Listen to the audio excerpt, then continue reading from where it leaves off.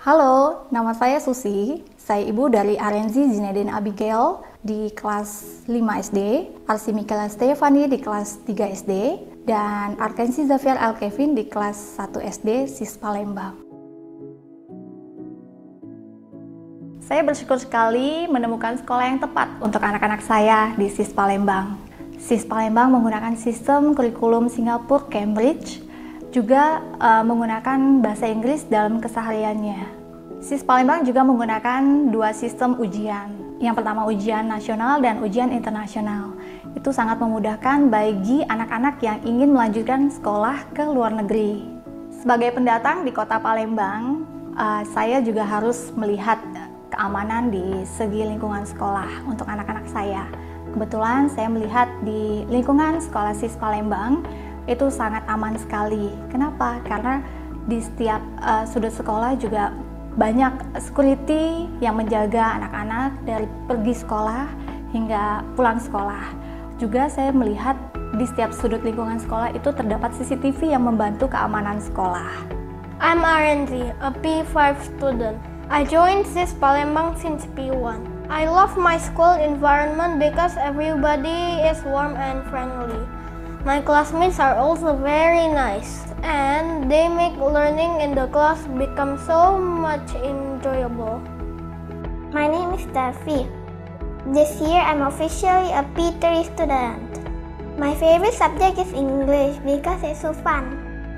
Moreover, the teacher, Miss Yulisa, is really helpful.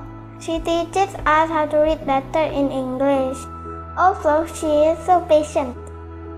Kemudian saya juga melihat guru-guru yang ada di SIS Palembang, mereka semua sangat friendly pada anak-anak saya, juga anak-anak murid yang lainnya, sehingga anak-anak saya juga merasa fun sekolah di SIS Palembang.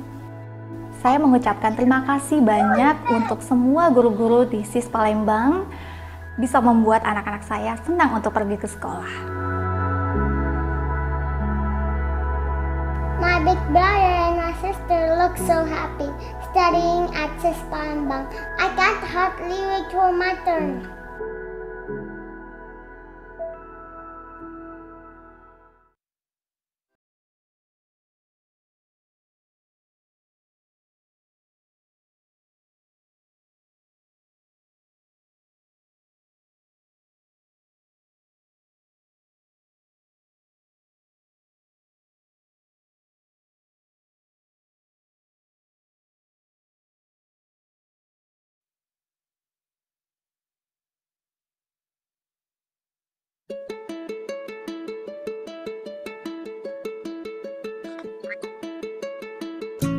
Hello everyone, my name is Jane and currently my sons are studying at SIS Palembang.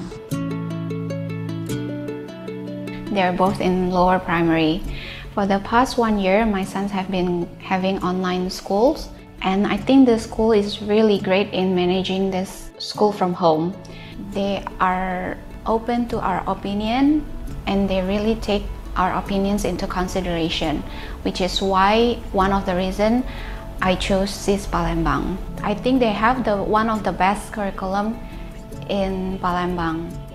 Hi, my name is Richie Jameson Koara. I am in P2 going to P3. Thanks to online school, I can still see my friends. What I don't like about online school, can't play with my friends. I think during this pandemic, the kids are having hard time and the way they learn are very much affected. But thanks to the teachers, their way of learning are easier and teachers are willing to help them even answering WhatsApp chats during odd hours. And I think teachers are the ones that work harder during this online school. My favorite subject is math.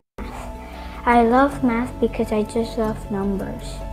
I've been joining a few math competitions from school. These math competitions are Gizmo in P2, KNNR in P1, KMS in P2. Aside from that, they also offer activities that are outside of the academic curriculum such as Six Olympics, which is being held online this year. That's it from me. Thank you everyone.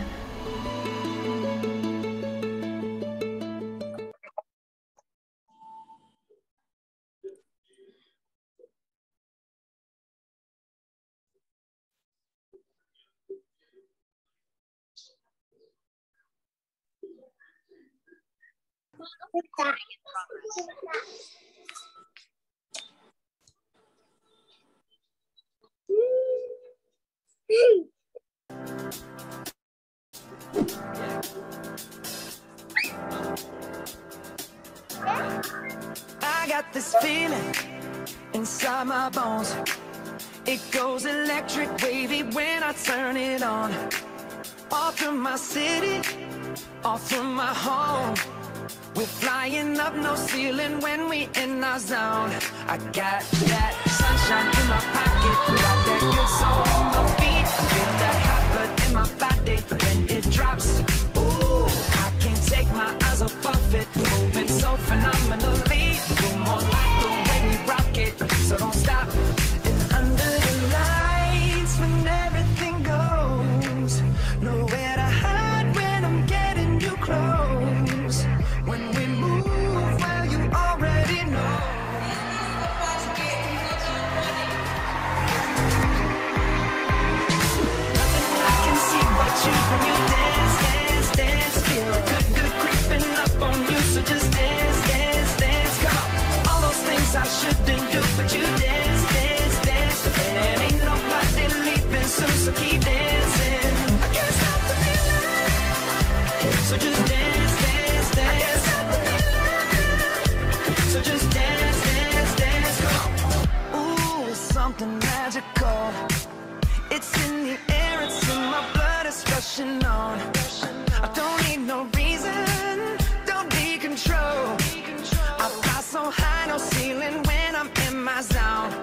Got that sunshine in my pocket, got that good soul in my feet. I feel that hot blood in my body when it drops. Ooh, I can't take my eyes off of it, moving so phenomenally. You're more like the way we rock it, so don't stop that.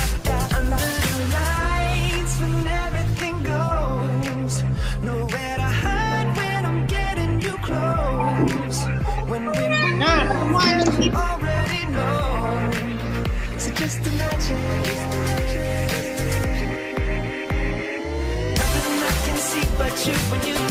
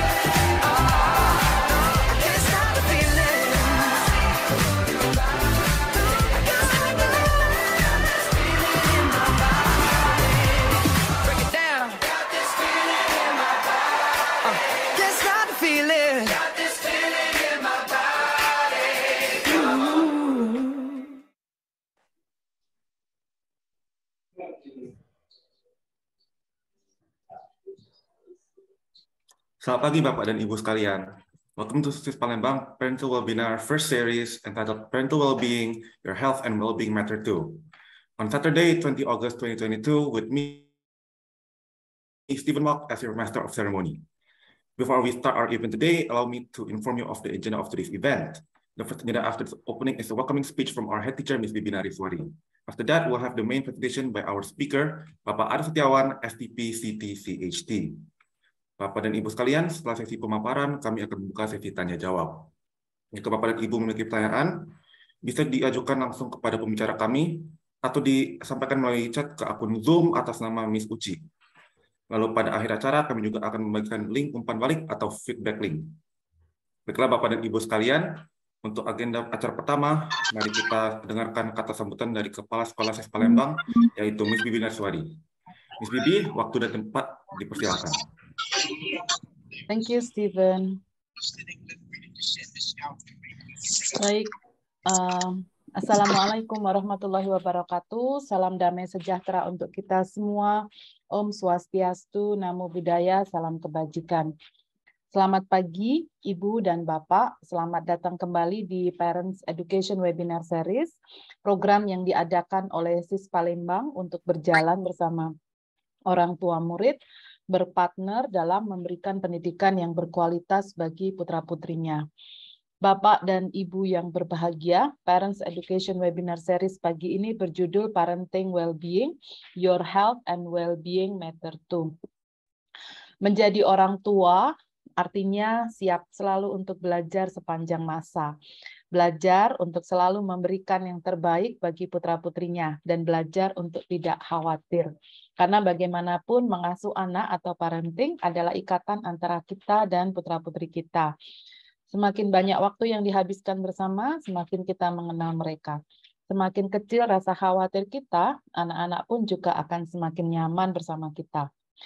Tidak ada yang namanya ideal dalam parenting, karena mengasuh anak adalah belajar dari mereka dan menjadi contoh untuk putra-putri kita.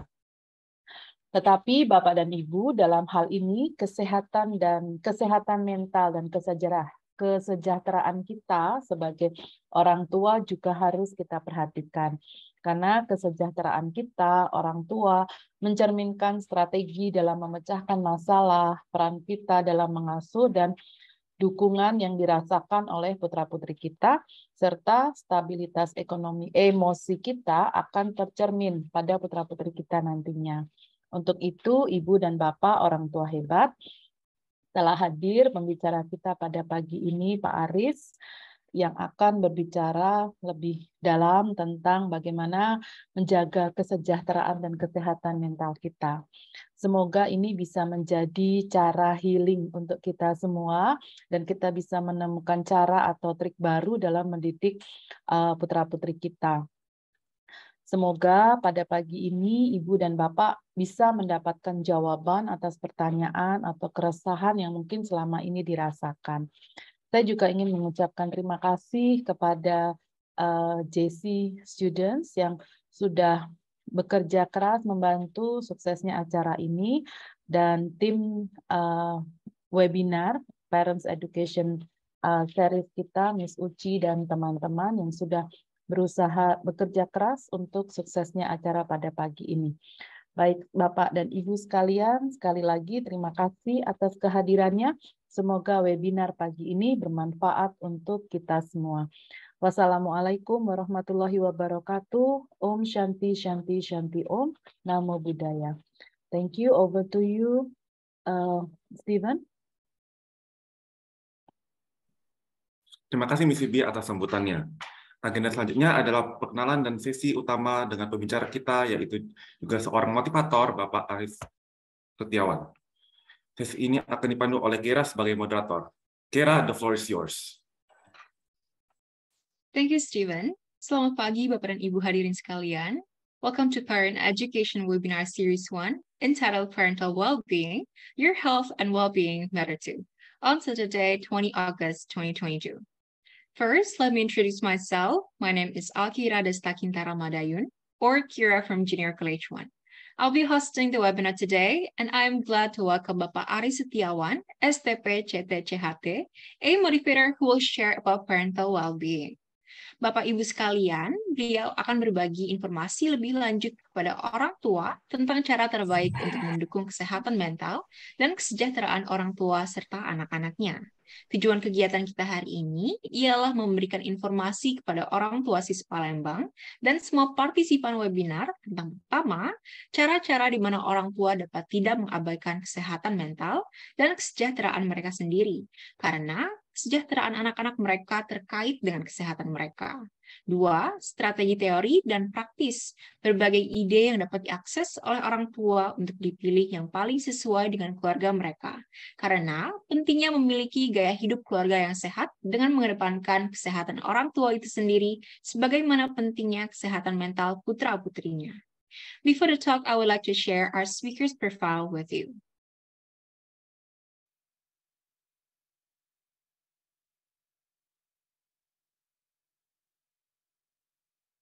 Baik, berikut adalah profil dari speaker kita hari ini.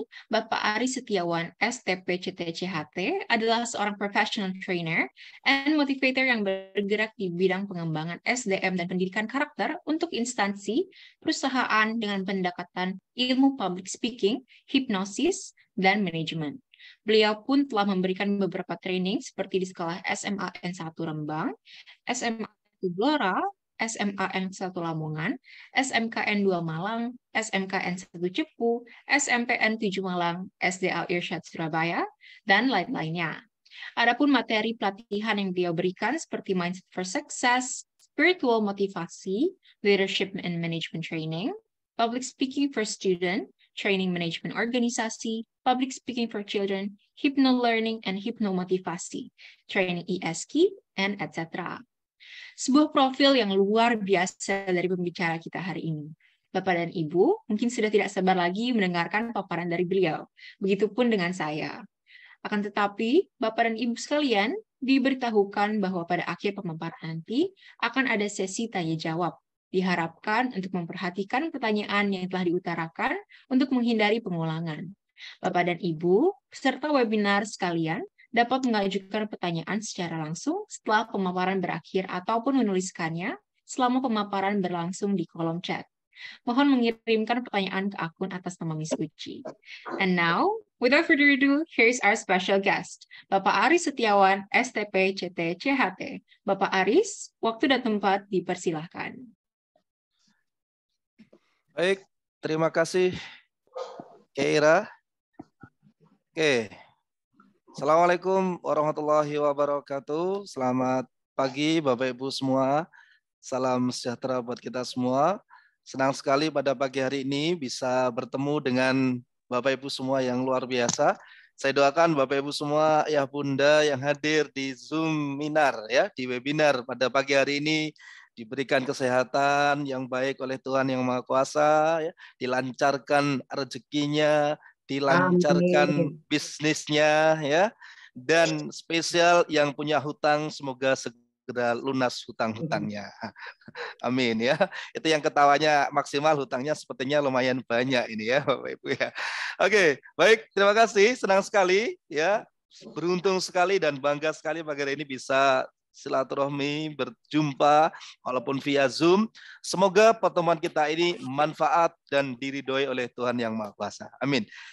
Oke, sebelum saya masuk materi saya dan sebelum saya lanjutkan ya, mohon izin untuk ayah bunda, bapak ibu yang bisa untuk on cam, yang memungkinkan untuk bisa on cam, bisa di on kan kameranya agar saya bisa melihat wajah segar, wajah sehat ya, senyum manisnya seperti senyumnya Miss Uci itu ya kan, manisnya luar biasa ya.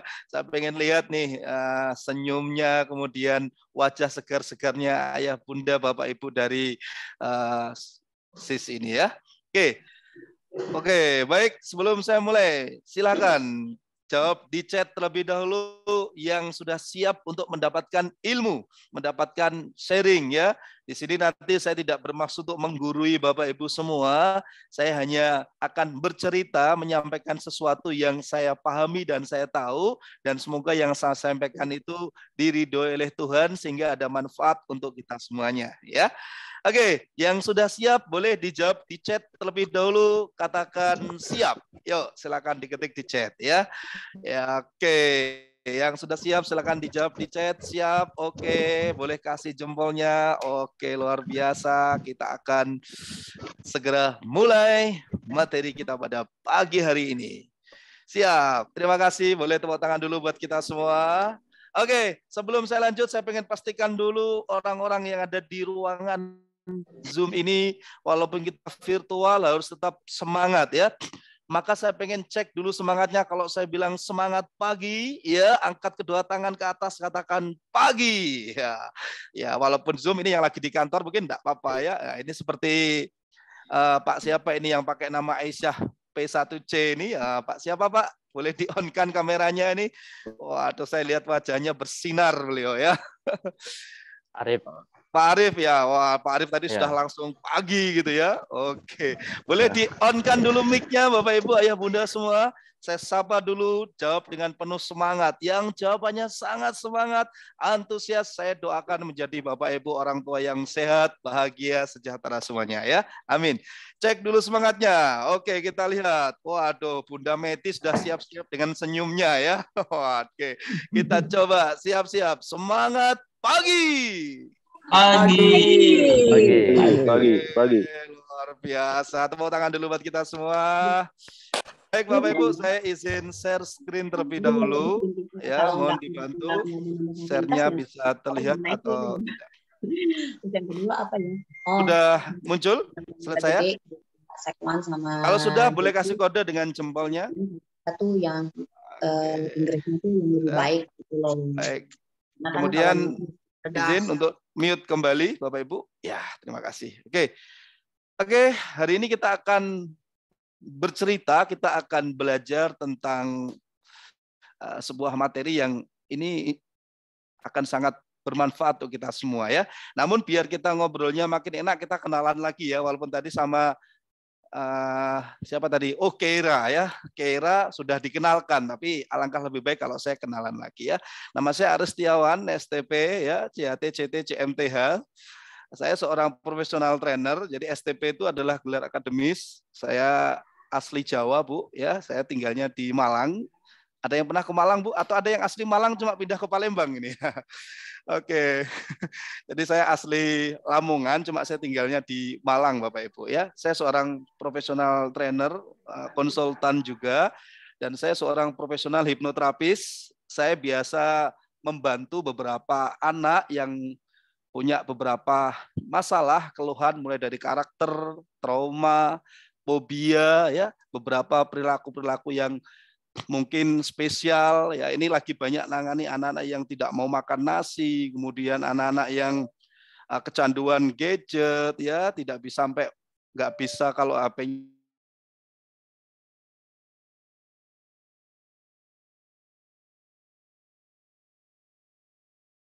saya sama biaya hidup saya untuk dua tahun ya. Oke, baik. Ini media sosial saya, Bapak Ibu yang mau silaturahmi boleh klik saja nama saya Aris Setiawan ditambah motivator ya. Nanti akan muncul beberapa biodata saya di media sosial atau di Google. Oke. Ya, Nah, sebelum saya lanjutkan, saya ingin pastikan Bapak Ibu walaupun di seminarnya fokus. Jadi yang bisa on cam silakan on cam, yang memungkinkan on cam silakan on cam dan silakan sekarang lihat ke kameranya masing-masing. Ikuti gerakan saya Bapak Ibu dalam hitungan ketiga silakan tangannya digosok-gosok semua dulu. Satu, dua, tiga. Gosok-gosok Bu sampai panas sampai keluar apinya ya. Waduh. Gosok-gosok lebih cepat gosoknya. Oke, semakin cepat di depan kamera dalam hitungan ketiga, satu, dua, tiga, tempel di dagunya masing-masing Bapak Ibu. Ya, dagu. Ini dahi Bu ya. Oke, Bu Bibi sempat keliru ya. Oh, dagu oh, langsung ke bawah ya. Gosok-gosok lagi, gosok-gosok lagi. Satu, dua, tiga, pegang telinganya Bapak Ibu. Ya, telinga. Wah, oke. Waduh, tepuk tangan dulu dong. Fokusnya luar biasa ya. Baik, dan saya mohon, saya tahu Bapak Ibu adalah orang-orang yang berpengalaman, orang-orang yang spesial, ya, orang tua yang hebat. Maka saya mohon Anda rendahkan hati, kita kosongkan gelas seperti apa kata salah satu pengusaha hebat, almarhum Bob Sadino ya, beliau itu selalu setiap bertemu dengan orang baru, baru beliau selalu mengkosongkan gelasnya terlebih dahulu. Artinya, saya mohon Bapak Ibu merendahkan hati, meniatkan diri untuk belajar agar apa pun yang diterima, yang didengarkan, yang dilihat, yang diperhatikan bisa ada dampak baik dalam diri kita dan mendapatkan izin restu dari Tuhan yang Maha Kuasa. Oke. Baik, rendahkan hati dan awali dengan bahagia dulu, boleh dengan senyuman. Maka saya ingin hitung 1 sampai 3, nanti yang bisa on cam langsung on cam.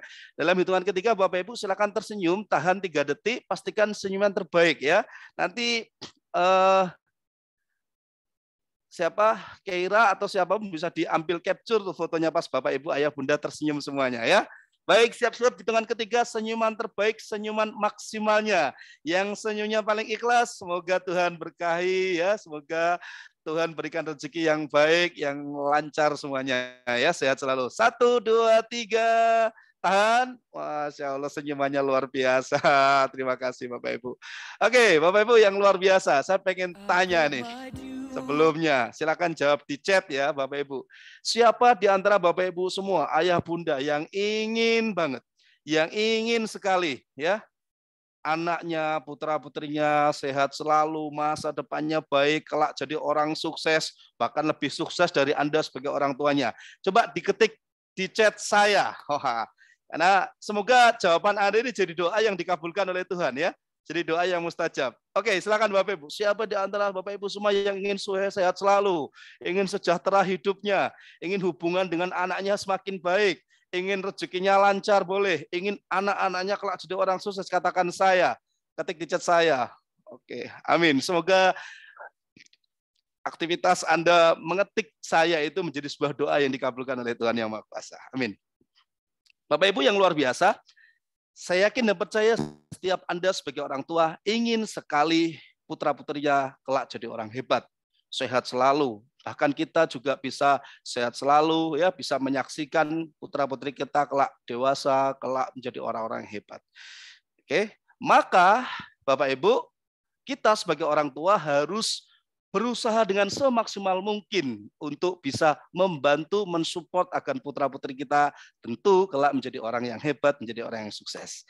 Nah, sebelum saya lanjutkan lebih dalam lagi, silakan diketik di chat. Jawab pertanyaan saya ini Bapak Ibu. Kira-kira menurut Bapak Ibu semua, menurut ayah bunda semua, mendidik anak itu kira-kira tanggung jawab siapa? Ya, coba saya pengen tahu dulu. Karena ini penting ya. Sebelum nanti saya bahas materi saya lebih panjang, ini penting sekali nih di awal ini. Kira-kira mendidik anak putra-putri Anda itu kira-kira tanggung jawab siapa? Silakan jawab diketik di chat.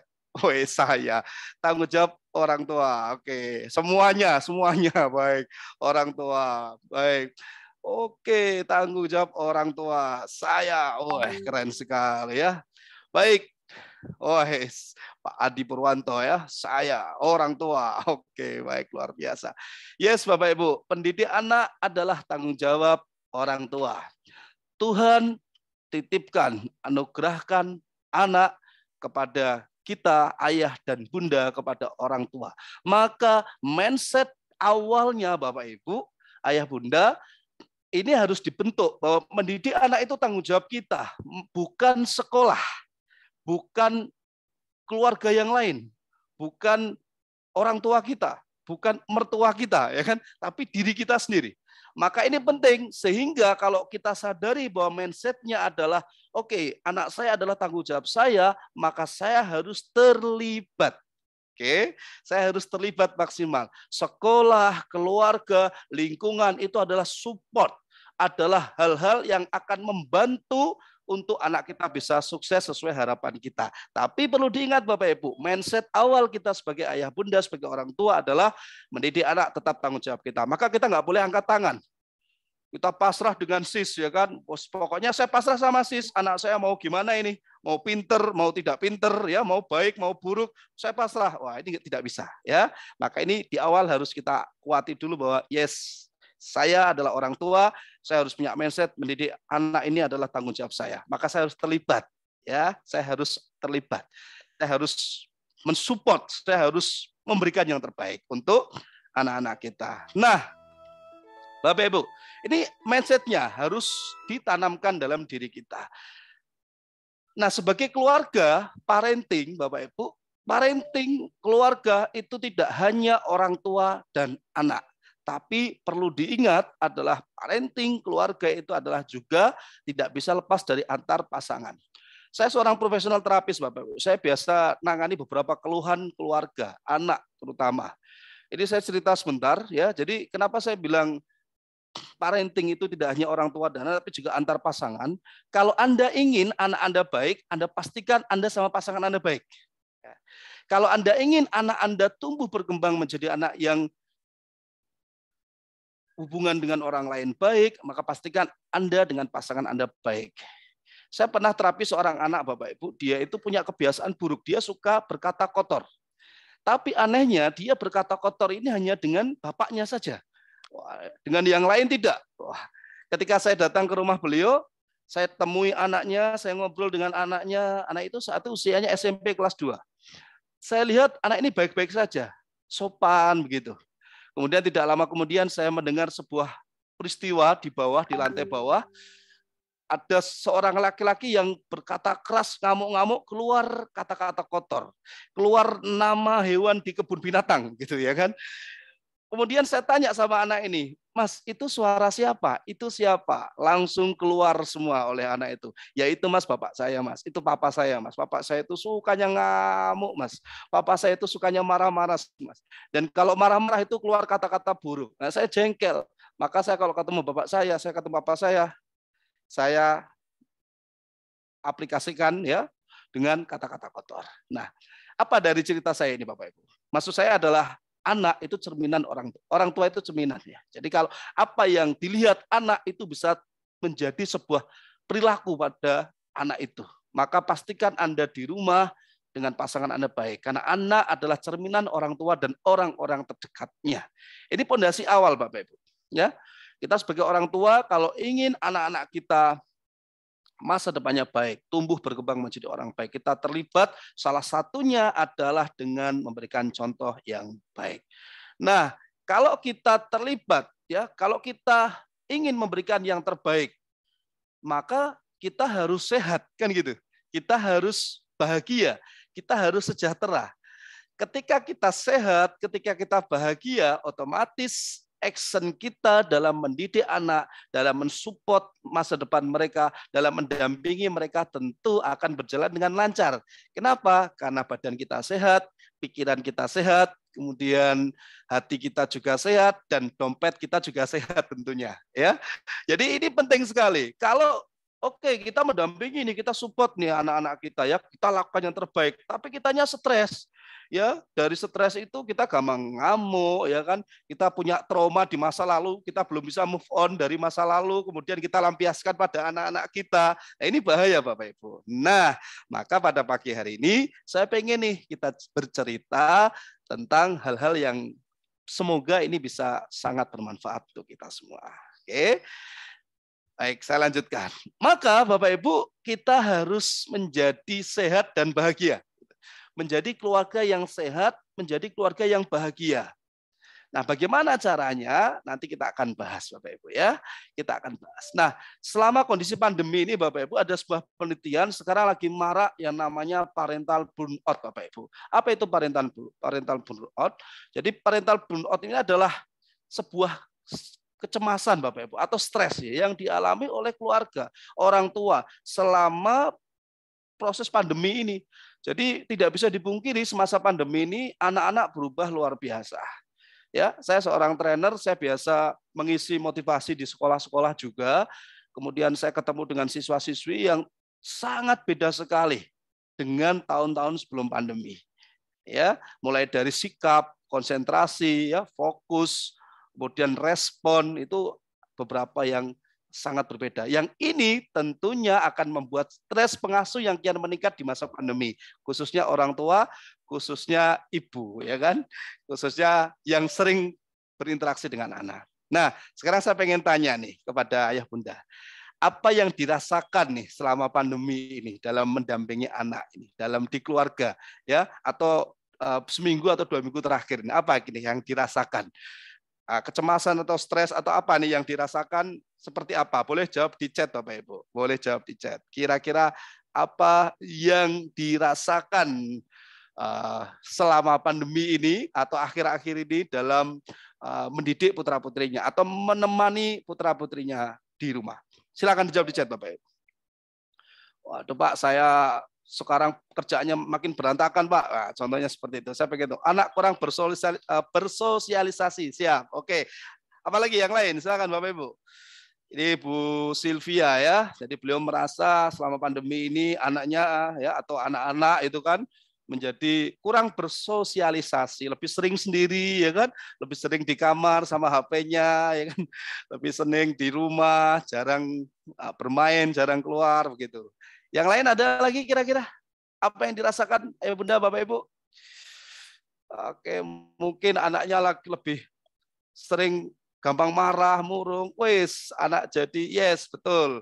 anak sulit tidur. Waduh ya, karena biasanya kalau malam langsung tidur, ini pegang HP ya kan akhirnya tidurnya uh, larut malam. Emosi anak tidak stabil, yes, gampang marah ya kan, sensitif, dikit-dikit marah ya kan. Anak sulit tidur, ya oke luar biasa. Terima kasih Bapak Ibu ya. Ini adalah beberapa kondisi yang Bapak Ibu rasakan tentunya selama pandemi ini. Nah, bagaimana biar kita menyikapi hal-hal itu tidak stres Bapak Ibu? Bagaimana biar kita menyikapi hal tersebut kita tidak uh, cemas dan sebagainya. Ini ada sebuah kata-kata yang baik Bapak Ibu ya. Yang artinya seperti ini. Kamu tidak dapat mengontrol angin ya kalau kita di laut itu berlayar itu kita nggak bisa mengontrol anginnya Bapak Ibu. Tapi kita bisa mengatur layar dari perahu tersebut. Artinya apa? Artinya kita memang kadang tidak bisa mengatur beberapa hal yang di luar kontrol kita. Tapi ada beberapa hal yang bisa kita kontrol. Contoh kasus pandemi Bapak Ibu. Kita nggak bisa ngatur pandemi ini sampai kapan. Kita nggak bisa ngatur vaksin ini sampai berapa kali kan gitu. Kita nggak bisa ngatur kondisi ini seperti apa sampai Bagaimana sampai kapan? Kita nggak bisa ngatur itu, kita nggak bisa ngontrol itu, Bapak Ibu. Semua itu di luar kendali kita, di luar kontrol kita. Nah, lalu apa yang bisa kita kontrol? Apa yang bisa kita kendalikan? Kira-kira apa, Bapak Ibu? Kalau kasus seperti itu, pikiran kita, betul, yes, ya, pikiran bisa kita atur. Sikap kita, respon kita terhadap kondisi itu bisa kita atur, Bapak Ibu. Nah, selama pandemi ya atau beberapa kondisi keluhan anak-anak kita selama itu yang menjadi sulit tidur, gampang marah, tentu membuat ayah bunda, bapak ibu menjadi lebih harus ekstra keras lagi ya kan, harus ekstra sabar lagi menghadapi putra putrinya. Maka biar kita tidak makin stres, mental kita tetap sehat Bapak Ibu, Tentu kita harus sadari, kita harus tahu, kita harus fokus terhadap hal-hal yang bisa kita kontrol. Mulai dari pikiran kita ya, sabar ya kan. Saya kasih cara Bapak Ibu ya, satu cara ya biar ketika nanti anak-anak Anda mungkin susah dibilangin mungkin ya atau susah apa marah-marah, saya kasih sebuah teknik satu saja Bapak Ibu ya. Cara ketika Anda mendapati atau tidak hanya anak, mungkin suami Anda Mungkin istri Anda gara-gara pandemi gampang marah nih, makin cerewet nih ya kan. Saya kasih cara ya, silakan tangannya diangkat ke atas semua seperti ini Bapak. Tepat taruh di atas kameranya, depan kameranya ya. Ini anda nanti bisa gunakan kalau pas Anda di depan putra-putri Anda, anak Anda lagi marah, atau suami Anda, atau istri Anda lagi marah, lagi oh, ruwet ya kan, lagi cerewet ya kan, ada katakan ini. Tangannya di atas semua, dalam hitungan ketiga, satu, dua, tiga, tempel di dadanya seperti ini Bapak Ibu. Iya, kemudian katakan sabar. Iya, kita praktek coba ya. Satu, dua, tiga. Sabar. Nah nanti ya Bu Bibi kalau tiba-tiba suaminya marah-marah langsung sabar ya kan. Kemudian Bapak Ibu nanti kok anak-anaknya kok wah sabar ya. Oke tepuk tangan dulu dong buat kita semua boleh. Ya ini uh, salah satu cara lah ya bisa kita pakai. Nah, Bapak Ibu semua, hidup ini dipengaruhi oleh 10% dari apa yang terjadi. Dan 90%-nya adalah dipengaruhi oleh respon saya terhadap apa yang terjadi, Bapak Ibu. Ketika anak kita ya di masa pandemi ini mungkin dia berubah ya kan atau mungkin kita harus ekstra maka kita respon kita itu sangat penting sekali maka responnya harus baik tentunya harus baik Oke, ini beberapa perubahan yang umum terjadi pada anak di masa pandemi yang mungkin anak Anda pernah mengalami atau Anda pernah mengalami terhadap putra-putrinya. Yang pertama adalah 76% yang penelitian Bapak Ibu ya di sebuah jurnal yang saya kutip ya, 76% kesulitan berkonsentrasi. Itu loh Bapak Ibu. Sepakat ya? Ada yang mengalami seperti ini? Ya, 76% putra-putri kita mengalami kesulitan berkonsentrasi dibanding dulu sebelum pandemi. Kemudian 52 persen merasa mudah bosan, Bapak Ibu. Ya, biasanya kita ajak jalan gitu dia bisa antusias. Sekarang ini baru sebentar sudah ayo pulang mah ayo pulang bunda. Ya gampang bosan dia semenjak pandemi ini ya. Kemudian 39% mudah marah Bapak Ibu. Anak sekarang lebih sensitif. Anak saya sendiri seperti itu Bu ya. Salah sedikit langsung dia langsung lebih gampang marah. Nah yang penting respon kita yang bagus begitu ya ini adalah beberapa kasus karena efek pandemi kemudian ada lagi 31 persen anak merasa merasa kesepian. Bukan berarti dia kesepian, tapi dia merasa kesepian Bapak Ibu. Ini yang luar biasa. Jadi padahal ada orang tuanya di rumah, ada temannya, ada keluarganya, tapi dia merasa kesepian, ya. dia merasa merasa sendiri.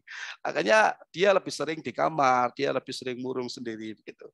Dan ini juga luar biasa, 76% anak merasa cemas, ya was-was, cemas ini dirasakan juga pada uh, anak di masa pandemi dari penelitian yang saya kutip.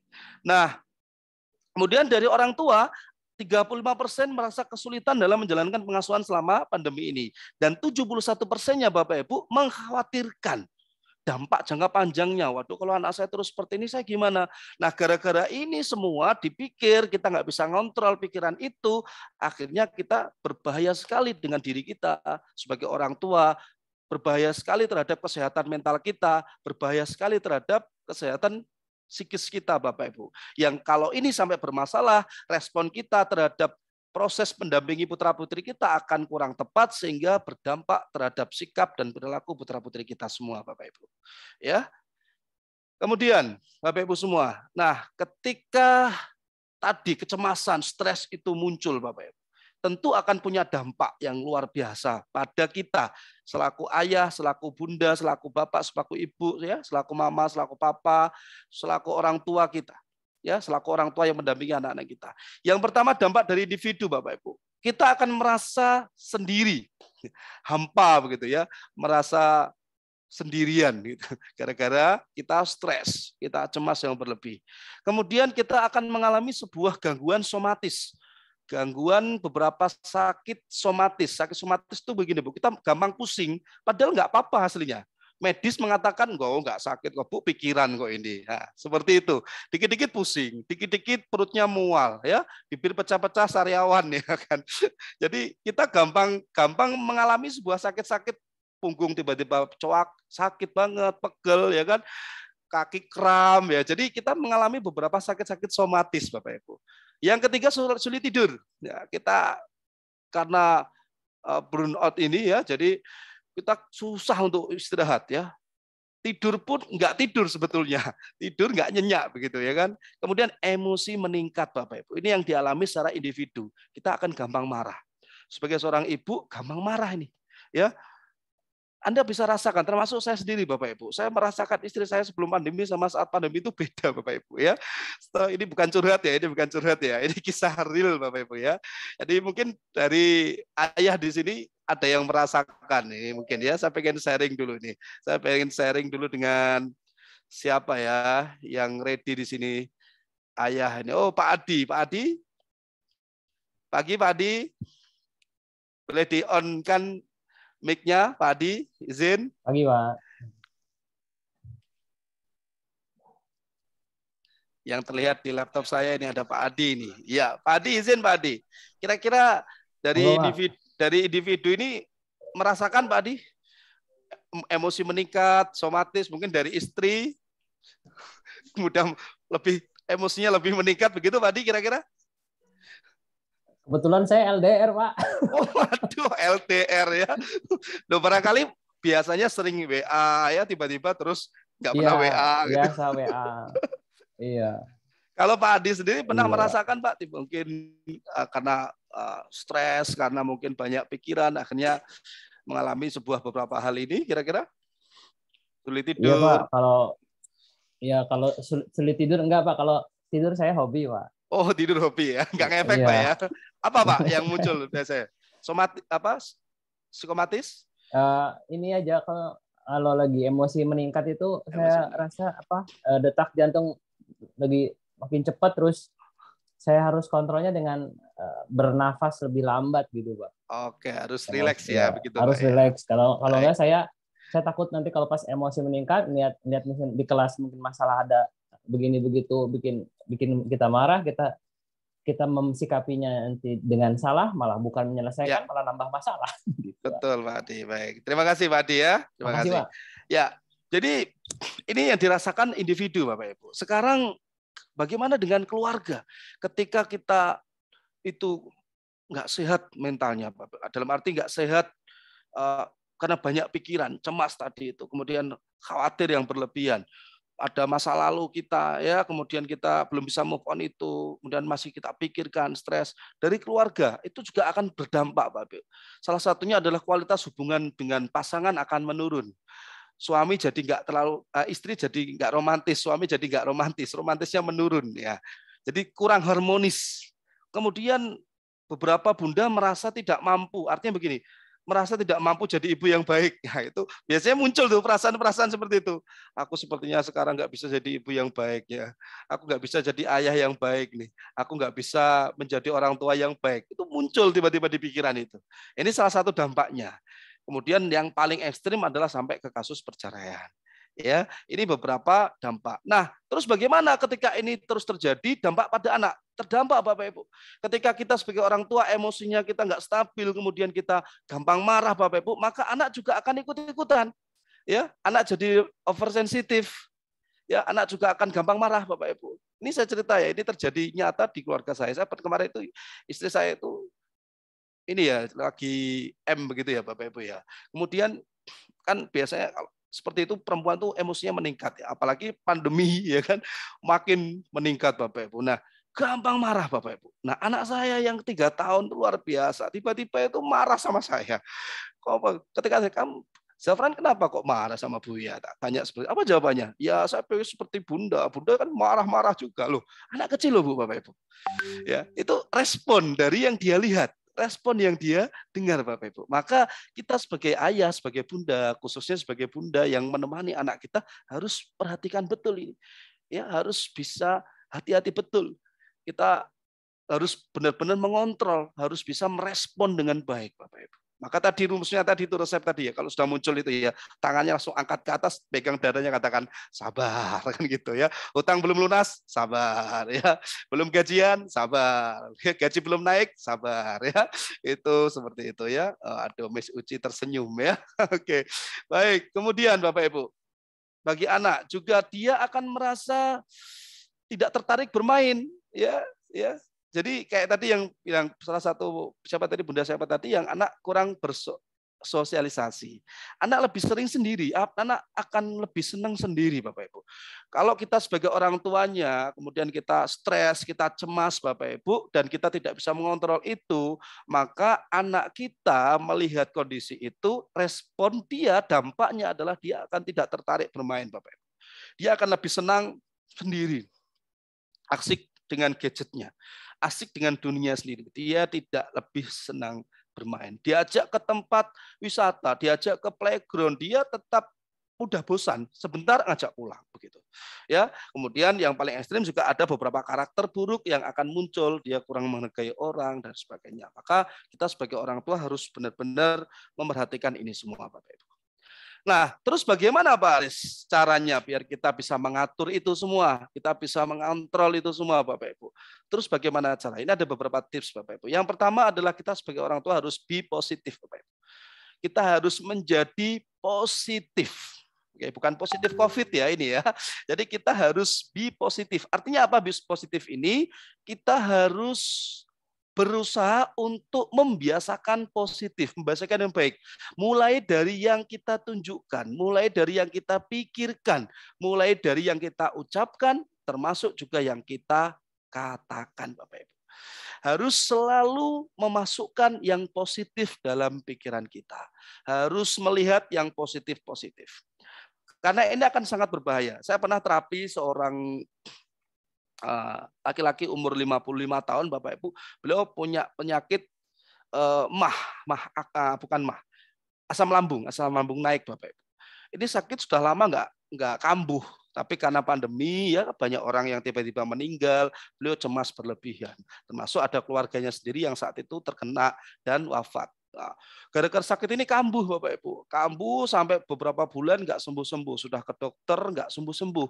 Dokter bilang menyarankan ya ini pikiran Pak Jenderal harus tenang. Mas saya bantu dengan beberapa terapi yang saya kuasai. Saya punya hipnoterapi, saya punya EFT, saya punya SEF ya yang saya pelajari. Saya bantu dengan beberapa terapi. Alhamdulillah Bu, ya sembuh. Ya bukan tambah parah ya, sembuh ya. Alhamdulillah sembuh Bapak Ibu. Itu salah satu kasus pikiran itu luar biasa dan saya sarankan jangan melihat uh, berita-berita kasus COVID itu sarankan sama beliau. Jadi pesannya adalah tolong Anda kita sebagai orang tua ya, sebagai ayah, sebagai bunda harus be positif. Yang kita lihat harus baik ya, yang kita pikirkan terutama. Ini yang paling penting, yang kita pikirkan harus positif, yang kita ucapkan harus positif dan yang kita lakukan juga harus positif Bapak Ibu ya. Kita biasakan, kita bentuk sebuah kebiasaan yang positif mulai dari olahraga, mulai dari makanan-makanan yang kita makan harus positif agar kita tetap bahagia, kita tetap sejahtera, kita tetap sehat Bapak Ibu. Sehat badannya, sehat mentalnya. Mulai makanan kita harus kita jaga. Mulai dari aktivitas-aktivitas kita, olahraga. Saya juga olahraga, Bu. Kalau saya di mobil itu senam ya. di mobil kok senam. Saya biasa senam otak ya untuk meningkatkan hormon serotonin dalam pikiran saya.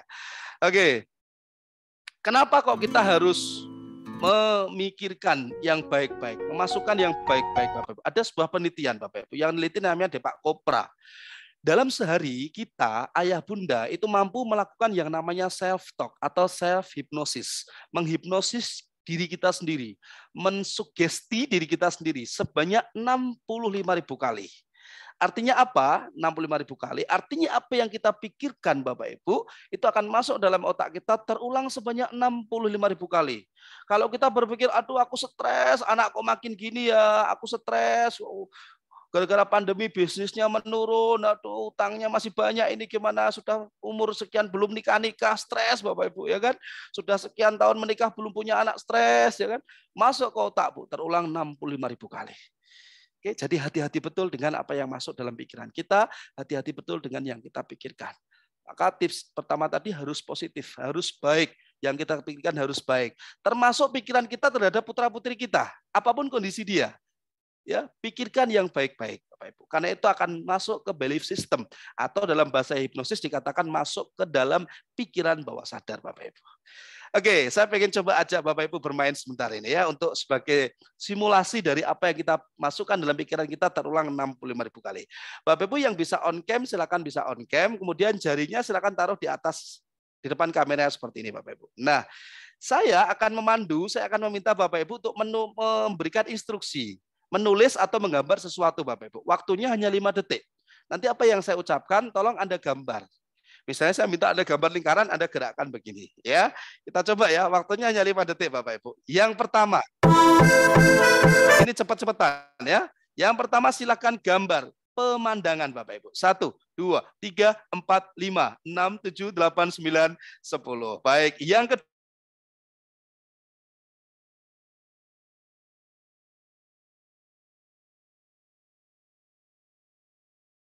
tiga, empat, lima, enam, tujuh, delapan, sembilan, sepuluh. Yang keempat gambar bebek, Bapak Ibu. Ya, bebek. Satu, dua, tiga, empat, lima, enam, tujuh, delapan, sembilan, sepuluh. Tepuk tangan dulu buat kita semua. Coba, saya pengen tes dulu. Nanti tolong Anda kalau merasa angkat tangan ya. Siapa di antara Bapak Ibu semua yang ketika saya minta gambar pemandangan, yang muncul adalah pemandangan gunung. Angkat tangan. Yuk, yang gambar gunung Bapak Ibu. Waduh, gunungnya modelnya seperti ini. Ya, ada gunungnya dua, oke. Okay. Oke, Pak Abu Jihan sepertinya persis ini gambar gunungnya ya. Ada matahari kecil di tengahnya. Dikasih jalan raya begitu ya. Kemudian yang gambar pohonnya mirip sepertinya ada nggak kira-kira? Angkat tangan Bapak Ibu. Nah, iya, ada seperti ini pohonnya. ini pohon apa ya kira-kira Bapak Ibu ya? pohon apa ini kira-kira Bapak Ibu?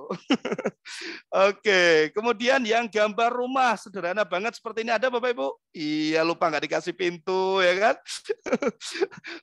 lupa nggak dikasih pintu, lupa nggak dikasih jendela ya kan? Dibalik lagi buat bikinnya ya, harusnya pondasi dulu, malah dibalik atapnya dulu ya. Pak Winarko tadi malah gini tok gambarnya. Oke, kemudian bebeknya seperti ini Bapak Ibu, menghadap ke kiri Bapak Ibu semua. Ada ya? Lupa nggak dikasih ekor ya kan, kakinya cuma satu ya kan, nggak dikasih mata. Ini bebek atau apa ini ya kan? Baik, tepuk tangan dulu dong buat kita semua. Yes. Kenapa bisa seperti ini Bapak Ibu? Dulu waktu kita kecil, kita diajarin gambar pemandangan-pemandangan gunung. Itu masuk dalam otak kita terulang 65 ribu kali. Artinya ketika kita sudah lupakan peristiwa itu Bapak Ibu. Tapi ketika kita butuh, kepepet apalagi terdesak, yang muncul pertama kali adalah gunung. Kenapa? Karena yang tertanam dalam belief system kita, pikiran bawah sadar kita adalah gambar pemandangan gu gunung Bapak Ibu. Nah, kalau yang tertanam dalam pikiran bawah sadar kita adalah positif ya, sabar, kemudian hal-hal yang baik. Tentu ketika kita menghadapi sesuatu yang baik, respon kita akan baik, Bapak Ibu. Ya, kalau kita biasa memasukkan kata-kata yang baik, seemosi apa pun kita, kita tidak akan mengeluarkan kata-kata yang negatif, Bapak Ibu. Maka belajarnya adalah kita harus melatih diri kita untuk mengatakan hal-hal yang baik, khususnya di waktu-waktu yang gelombang otak kita lagi berada di gelombang alfa menuju theta Bapak Ibu. Biasanya di saat kita bangun tidur ya di setengah jam sebelum waktu subuh itu bagus untuk memasukkan kata-kata yang baik dalam pikiran kita. Karena gelombang kita lagi alfa atau saat kita lagi di kamar mandi ya kan? Lagi BAB itu kan lagi rileks rileksnya maka nggak heran tuh kalau anda lagi di kamar mandi lagi BAB muncul ide-ide kreatif. Karena secara psikologi gelombang otak kita lagi berada di kondisi uh, alfa mendekati theta bapak ibu. Oke nah itu cara yang pertama. Anda harus be positif. Yang kedua bapak ibu harus have fun harus berusaha membahagiakan diri, menghibur diri. Apa healing boleh lah ya. Jadi kita harus have fun Bapak Ibu. Kalau nggak seperti itu kita akan berbahaya sekali dengan mental kita, kesehatan mental kita Bapak Ibu. Kita harus have fun, kita harus berusaha untuk bahagia dan harus dipaksa. Mas, tapi gimana Mas? Apa hutang masih banyak ya. Anak makin seperti ini gimana? Ya harus dipaksa bahagia Bapak Ibu. Saya Bapak Ibu trainer empat bulan awal pandemi itu nggak ada pemasukan sama sekali loh Bapak Ibu. Nggak ada yang ngundang saya. Beberapa event saya di cancel. Sumpah uang belanja istri tertahan Bu ya. Nah, sekarang sudah normal sih, walaupun masih ada yang online, tapi sebagian besar sudah kembali offline lagi ya, kecuali kalau yang jauh-jauh mungkin beberapa masih online. Saya kemarin di Palembang di SMA 7 Palembang itu juga offline juga di sana. Nah, kita harus berusaha menghibur diri. Saya dulu menghibur diri, Pak. Ya, saya lebih senang nonton beberapa hiburan-hiburan ya, menghibur diri apa nih yang bisa kita jadikan sesuatu yang kita bisa bahagia, ya. Mungkin kita uh, sering-sering membaca yang itu bisa membuat kita happy atau punya hobi baru ya kan. Saya gara-gara pandemi punya hobi bowes Bapak Ibu ya beli sepeda, kemudian sering naik gowes ya. Karena ada penelitian kalau kita naik bersepeda itu di 40 menit pertama itu endorfin dalam pikiran kita akan sangat meningkat. Itu akan bisa membuat kita lebih sehat di mental terutama Bapak Ibu. Jadi have fun. Kita sebagai orang tua harus have fun, harus membahagiakan diri dulu. Kalau kita bahagia, ya respon kita akan baik, anak akan ikut bahagia. Tapi kalau sebaliknya kita sendiri gampang murung, gampang marah, gampang emosi, ya respon kita sepertinya akan respon kita pada anak juga kurang baik dan sikap anak tentunya tidak jauh-jauh dari respon kita. Gitu. Maka hati-hati betul, ya. Jadi Bapak Ibu sebagai orang tua harus berusaha untuk have fun. Yang kedua. Dan yang ketiga, agar kita bisa semakin sehat, kemudian sehat mentalnya sebagai orang tua, kita harus saling sinergi, Bapak. Support system. Kita harus sadari bahwa kita anak-anak kita itu kita nggak sendiri Bapak Ibu. Kita harus support system, kita harus saling sinergi antara ayah, antara bunda, antara bapak, antara ibu, antara orang tua dan sekolah itu harus sinergi. Orang tua, anak, sekolah harus sinergi Bapak Ibu. Nggak bisa salah satu. Sekolah suruh kerja keras bagaimana anaknya itu maksimal, berprestasi, perilakunya baik. Tapi orang tuanya lepas tangan. Tidak bisa Bapak Ibu. Ya, kita harus saling sinergi, support system kita bangun ya kita komitmen sebagai orang tua di masa pandemi apa pun ini pengaruhnya apa pun kondisinya saya sebagai orang tua akan terus mensupport saya akan terus membiayai anak saya. Bahkan saya lebihkan ini gara-gara pandemi ya. Nanti gurunya akan saya tambah nih setiap bulannya. Waduh boleh itu ya. Nanti tiba-tiba setelah webinar ini ada yang telepon Pak Winarko Pak Winarko tolong kirim nomor rekeningnya ya. Ini sebagai hadiah agar anak saya bisa tumbuh menjadi lebih baik ya kan. Ditransfer ya 5000 saja lah tidak usah banyak-banyak. Jadi harus saling sinergi. Kita support system. Di keluarga sebagai seorang ayah juga harus support Pak saya itu aktivitasnya sering keluar, jarang di rumah, jarang ketemu dengan anak saya karena saya sering keliling uh, ngisi training Bapak Ibu. Nah, semenjak pandemi saya pahami kondisi istri saya lebih ekstra, maka saya berikan support lebih Bapak Ibu. Ya, saya berikan support lebih mulai dari uang belanjanya saya tambahi ya kan kemudian perhatian saya saya lebihkan saya mulai belajar caranya romantis Bapak Ibu yang saya nggak biasanya berpantun saya belajar cari pantun bikin pantun ya kan? Yang saya nggak biasa bikin kata-kata pujangga. Saya belajar itu Bapak Ibu. Untuk apa? Menghibur pasangan. Dan itu penting sekali. Kok tumben ya? Nggak apa-apa. Jawab cukup jawab seperti itu saja ya. Jadi harus seperti itu. Yang ibu, yang perempuan juga gitu sebagai ibu, support system sama suami, ya kan? Yang biasanya cuma bikinkan kopi sehari sekali, bikinkan setiap jam ya kan. Jadi support system, kasih pelayanan yang lebih. Nanti suami akan kaget ya kan. Wah, ada apa ini istri saya kok seperti ini? Iya, nggak apa-apa. Ini karena kita pandemi, kita harus makin kompak, kita harus makin uh, rukun. Ya, ini penting sekali terhadap kesehatan kita ya. Jadi nanti setelah webinar ini Bapak Ibu, yang ibu-ibu harus lebih perhatian sama suaminya. Yang LDRan Pak langsung telepon setelah ini ya, suruh pulang. Enggak ya. Jadi perhatian lebih Pak ya, perhatian lebih. Sering-sering WA ya kan. Kemudian yang ibu juga sama suami harus lebih baik. Kemudian sama sekolah juga lebih interaktif lagi, lebih komunikatif lagi, lebih bijak lagi, lebih saling support, saling sinergi lagi Bapak Ibu. Ini penting sekali ya. Tiga hal ini kalau kita maksimalkan, kalau kita lakukan dengan baik, tentu akan sangat bermanfaat, berdampak baik terhadap kondisi putra-putri kita. Saya yakin dan percaya Bapak Ibu, Anda kalau sama pasangan Anda itu kok harmonis, rukun, dilihat putra-putri Anda pasti senang. Pasti senang sekali ya.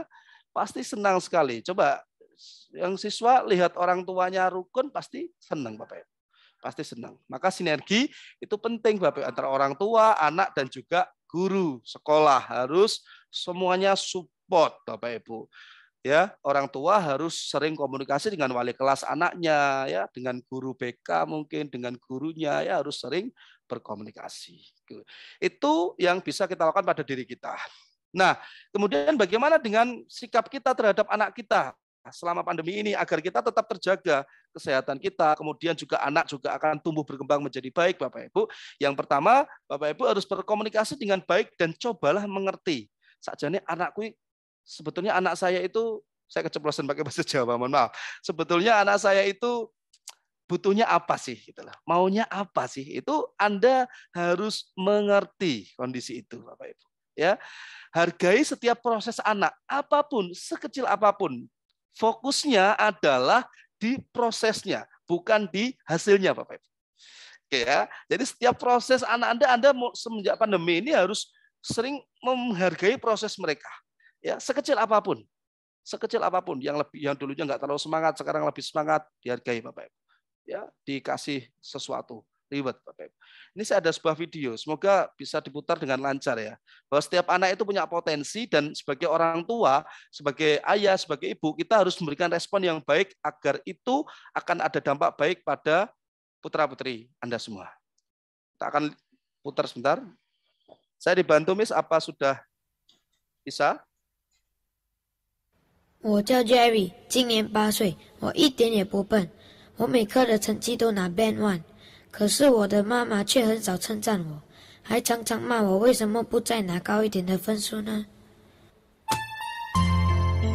？And ladies and gentlemen, the first prize goes to Tom Yo of Singapore. 这是我哥哥，Tom。对了，我们就是 Tom and Jerry。哥哥最厉害的就是 blogging。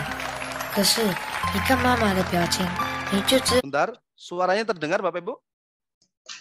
Terdengar ya? Kasih jempol. Siap. Oke, saya lanjut. 妈妈并不是很欣赏哥哥的才华。哥，没想到你 blogging 还这么厉害。什么厉害？什么 blogging？写一些乱七八糟的文章就这么厉害？学校里的作文就没这么厉害？大人经常以为和我们说很多话就是沟通了，其实他们都是自己讲自己爽。而我们通常都是假装在听，然后一边进，啾啾啾啾啾，另一边出。 我们到底有没有听进去？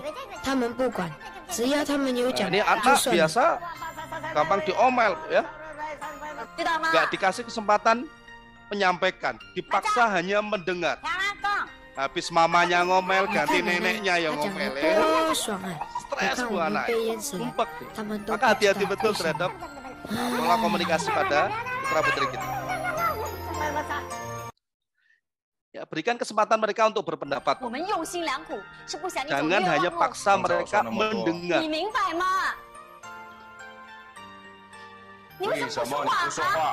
Kalau sudah seperti ini, putra-putri kita akan tidak nyaman di rumah. Nah, bahayanya ketika dia keluar ketemu dengan lingkungan yang nggak baik, dampaknya luar biasa dia di rumah merasa tidak dihargai, ya kan? Di sekolah, ya, dia merasa mungkin ketemu dengan seorang oknum-oknum guru yang mungkin memberikan respon yang buruk. Ini ada anak Bapak Ibu, dia biasanya nggak pernah kerjakan PR. Nah ini yang nggak ngerjakan PR suruh keluar kelas kan begitu. Oh, banyak bu yang nggak ngerjakan PR ya kan. Nah, kemudian ada seorang anak. Anak ini biasanya nggak pernah kerjakan PR. Nah, saat itu dia kerjakan PR, Bapak Ibu. Lihat respon gurunya.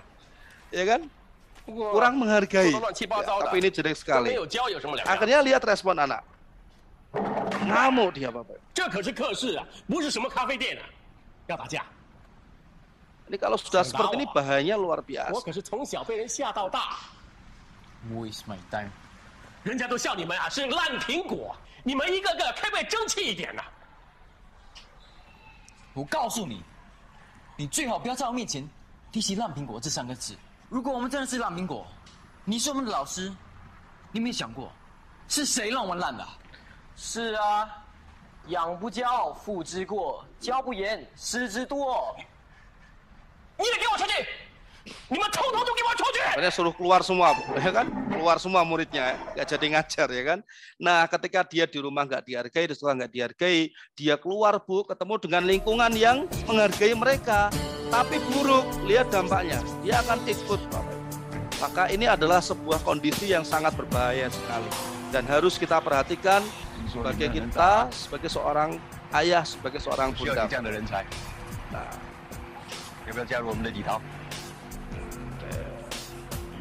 bahaya sekali ya. Sangat berbahaya sekali. Nah ini contoh beberapa kasus bapak ibu.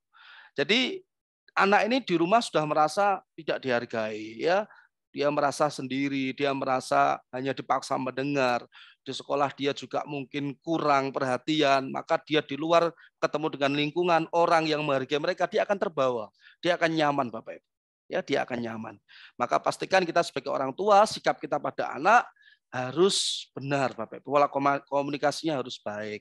Ya, tanya apa yang mereka inginkan, apa yang bisa ayah lakukan untuk kebahagiaanmu, apa yang bisa bunda lakukan untuk kebahagiaanmu. Dan Bapak Ibu harus fokus pada prosesnya, bukan hanya hasil akhirnya. Berpatokan pada hasil itu boleh Bapak Ibu, tapi jangan fokus di situ. Fokusnya adalah di prosesnya. Saya yakin kita sebagai orang tua, saya sendiri sebagai orang tua juga pengen anak saya hasilnya terbaik ya tapi ketika hasil itu belum tercapai fokus kita bukan pada hasil itu fokus kita adalah di prosesnya. Oke tidak apa-apa anak saya sudah berusaha. Kita hargai kita kasih reward.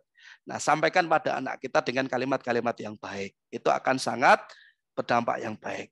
Kemudian anda dengarkan keinginan anak terhadap orang tuanya itu apa ya. Jadi sering-sering tanya pengennya apa sih Nah, ya, kamu pengen apa? Kamu pengen ayah itu seperti apa? Kamu pengen bunda itu seperti apa? Kamu pengen mama itu seperti apa? Kamu pengen papa itu seperti apa? Tanya, Bu. Nah, tanya, ya. Sebagai kita sebagai suami istri juga gitu, tanya pada suami kita, apa papa itu sebetulnya pengen mama itu seperti apa sih? Mama, mama, ya, kamu pengen papa itu seperti apa sih? Gitu. Saya tuh sering seperti itu, Bu. Oh, tiba-tiba istri bilang ya tolong dong kalau di rumah itu jangan pegang HP terus-terusan. Kita kan jarang ketemu. Nah, itu muncul Bapak Ibu. Itu muncul sekali ya. Ini ada sebuah video. Video ini ada sebuah penelitian di sebuah TK. Ini orang tuanya dipanggil, anak-anaknya itu suruh nulis sebuah surat. Kemudian surat itu dikasihkan pada orang tuanya suruh baca, ya. Kita lihat sebentar videonya. Saya ingin Bapak dan Mama saya mendengarkan saya saat saya diskusi. Bukan memperhatikan WA. Jadi ini ceritanya Baru mau minta bantuan kalian untuk menulis surat untuk orang tua. anak-anak suruh nulis surat untuk orang tuanya. Apa sih harapanmu untuk orang tuamu?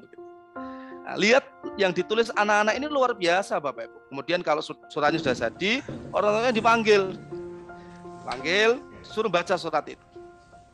Ayah jangan pulang malam. yang muncul luar biasa. Ada yang tulis, ayah jangan jam pulang 1 atau malam-malam. jam 2. Oh, Jam 12, jam 1. Karena jadi tidak sering melihat. Jadi anak ini merasa ayahnya sering pulang malam Bapak Ibu. Hmm, yes, yes, yes. Aku mau. Aku mau mama dan bapak ajak aku belajar masak, ya kan? Ada yang pengen seperti itu. Nah, ini artinya anak ini butuh momen di mana dia pengen ngumpul ceria bareng sama Mama keluarga. papa sudah memberi saya cinta. Ini beberapa kasus Jadi real Bapak Ibu. saya mau berusaha juga memberi mama dan papa cinta dan kebahagiaan dari anak. Ada yang menulis lagi seperti ini Bapak Ibu. Ya. Saya juga ingin ibu lebih percaya kepada saya. Ini berarti anak ini merasa ibunya nggak terlalu percaya dengan dia, ya kan? Lebih percaya anaknya tetangganya mungkin, ya kan? Ya. Ada yang terlalu khawatir dengan anaknya. Ibu, saya ingin Nggak boleh jangan main melakukan handphone sendiri. Ada lagi. karena nanti tidak Nggak boleh pegang handphone terus-terusan, ya kan?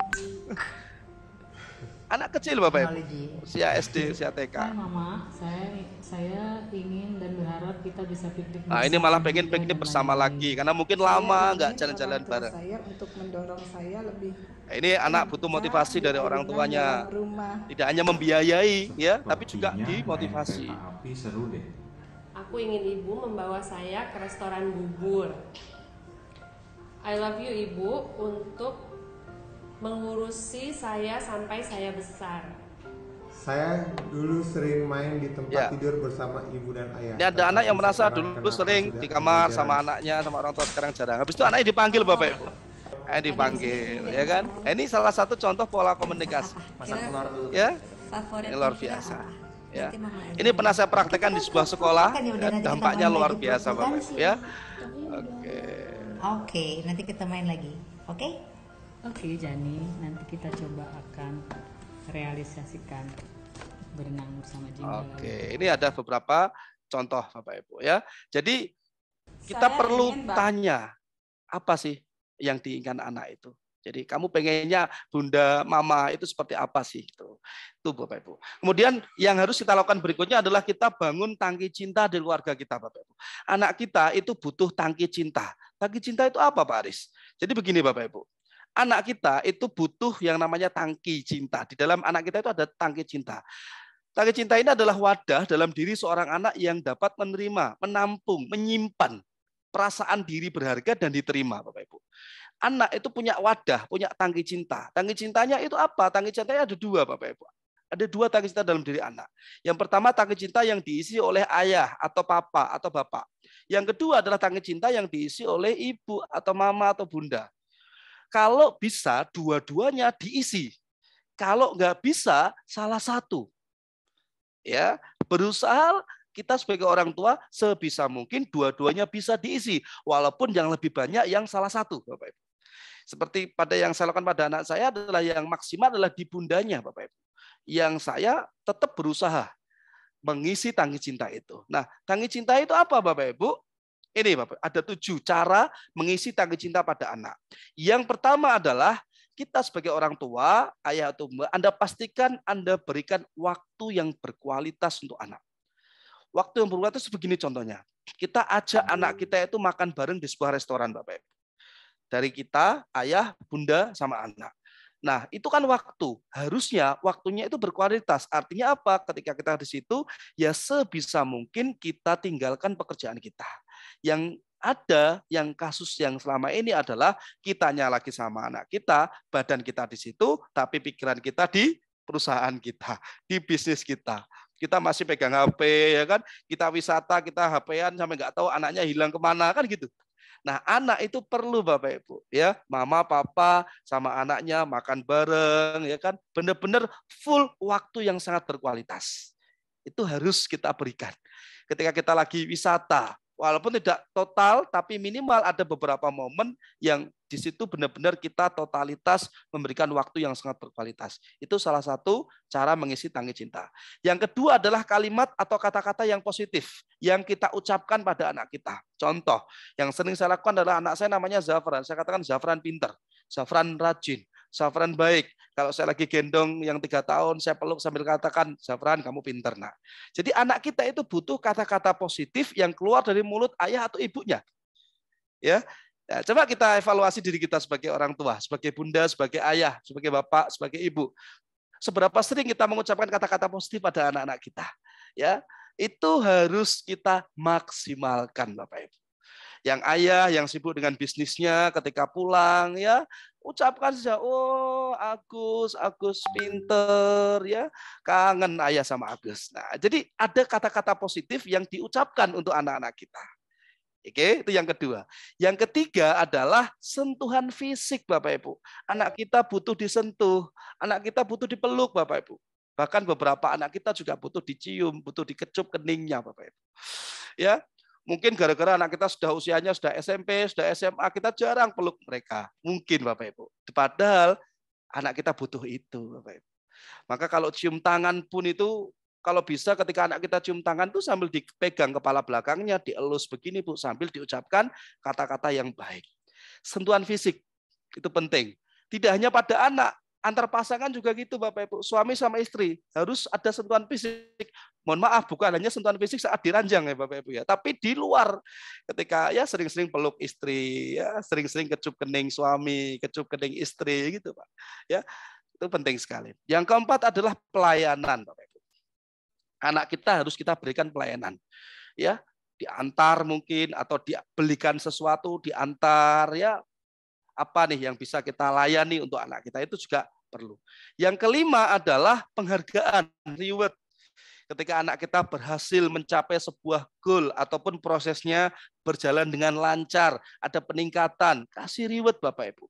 Dia bisa rajin, kasih reward, kasih pemberian hadiah. Bukan soal nominal atau sesuatu hadiah itu, tapi ketulusan kita sebagai orang tua memberikan reward itu. Dan yang keenam adalah tatapan mata. Seberapa sering kita menatap anak-anak kita, Bapak Ibu. Bahkan kita kadang kalau lagi makan bareng gitu di meja atau di restoran, kita nasihati mereka, kita nggak lihat wajah beliau. Kita nggak natap matanya. Betul Bapak Ibu ya? Padahal penting sekali kita tatap anak gitu. Itu Pak Bu ya, saya pernah praktekkan gitu ya. Kita tatap anak kita gitu. Nanti dia akan bertanya, "Loh, Ma, kok lihatnya kok gitu sih, Ma? Ada apa sih?" gitu. Nah, itu dia sudah kalau sudah seperti itu, ucapkan kata-kata yang baik, Bapak Ibu. Enggak ada apa-apa. Mama cuma senang lihat kamu sehat. Mama itu senang lihat kamu itu rajin ya. Mama doakan kamu sukses. Nah, itu itu dia akan merasa sesuatu yang wow gitu. Ya, yang ke-6. Dan yang terakhir adalah perhatian yang terpusat. Saya yakin sebagian besar di sini anaknya nggak hanya satu. Ada yang dua, ada yang tiga, ada yang empat, mungkin ada yang lima, ya kan? ada yang enam, ada yang sepuluh mungkin. ya kan. Nah, perhatian terpusat itu begini maksudnya. Kadang anak kita itu butuh kita ajak jalan hanya berdua dengan dia. Misalnya kita punya dua anak nih Bapak Ibu, ya adik sama kakak. Sesekali kita perlu jalan hanya dengan kakaknya saja Jangan dua-duanya terus. Sesekali Anda perlu mengajak salah satu gantian, adiknya saja, kakaknya saja.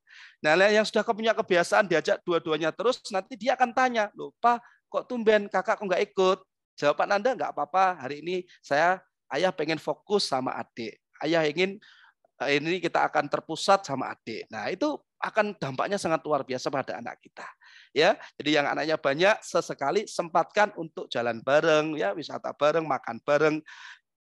Perhatian terpusat pada anak kita. Ini adalah tujuh cara untuk kita bisa mengisi tangki cinta terhadap anak-anak kita.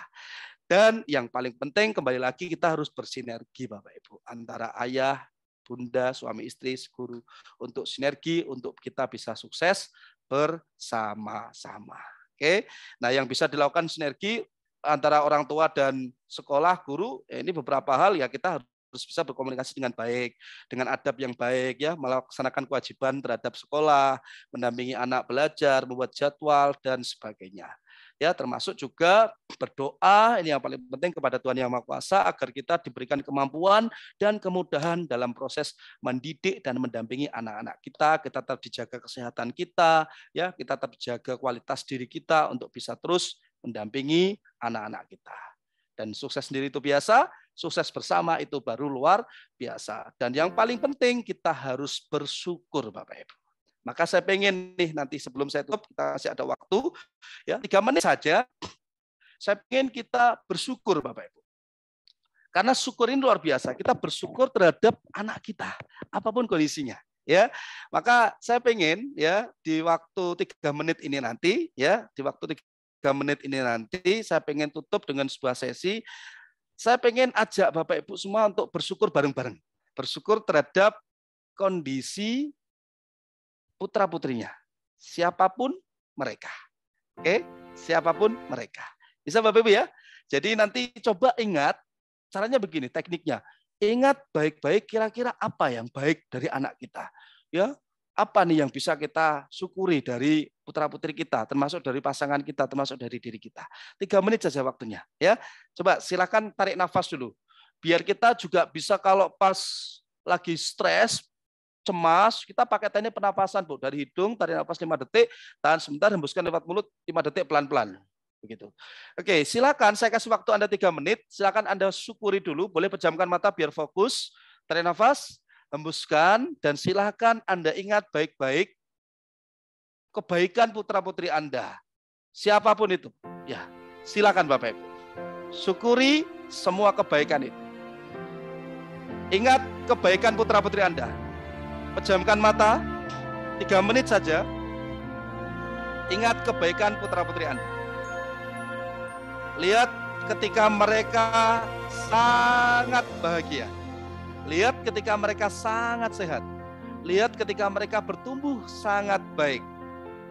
Syukuri Bapak Ibu. Katakan terima kasih nak ya. Terima kasih nak. Jadi anak yang sehat ya. Jadi anak yang baik ya. Syukuri Syukuri Bapak Ibu. Syukuri. Ya. Jadi syukuri semua kebaikan itu. Tarik nafas, hembuskan. Dan dalam hitungan ketiga, katakan dalam hati dan pikiran Bapak Ibu semua, mulai sekarang dan seterusnya, saya sehat, saya semangat, saya mencintai dengan tulus anak-anak saya, pasangan saya, saya bisa mendampingi mereka dengan baik mulai sekarang dan seterusnya. Satu, dua, tiga Bapak Ibu. Yes, tarik nafas, hembuskan. Terima kasih. Boleh applause buat kita semua yang luar biasa pada pagi hari ini. Bapak Ibu yang luar biasa, ya, tidak terasa sudah hampir ya satu jam lebih lah saya ngobrol di depan Anda ini ya. Nanti kita akan lanjutkan dengan sesi diskusi. Dari saya cukup sekian, Bapak Ibu. Semoga pertemuan kita diberkahi oleh Tuhan yang Maha Kuasa. Dan sekali lagi kita sebagai orang tua tetap positif ya, tetap bahagia, tetap bersinergi dan pastikan kita berkomunikasi dengan baik terhadap anak-anak kita ya. Kita merespon yang baik kita bersinergi dan kita bersyukur dengan mengingat kebaikan-kebaikan anak-anak kita. Apa pun kondisinya Bapak Ibu ya. Berikan sentuhan fisik berikan perhatian yang terpusat berikan waktu yang berkualitas Bapak Ibu ya saya itu kalau pas pulang itu malam gitu anak saya sudah tidur kadang pagi saya sudah berangkat lagi. Itu kalau pas sempat bu itu saya peluk anak saya bapak ibu. Ya itu kadang nggak terasa itu air mata netes gitu bu. Ya karena momen-momen seperti ini mungkin jarang sekali. Yang anaknya mungkin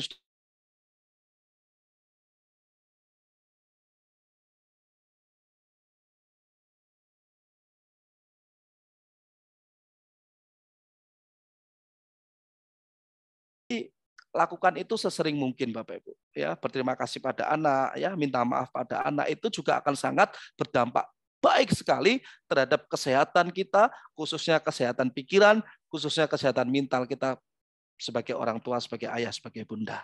Begitu Bapak Ibu semua, terima kasih. Saya doakan Bapak Ibu semua sehat selalu, bahagia selalu, dan itu akan berdampak terhadap kesehatan dan kebahagiaan putra-putri Anda semua.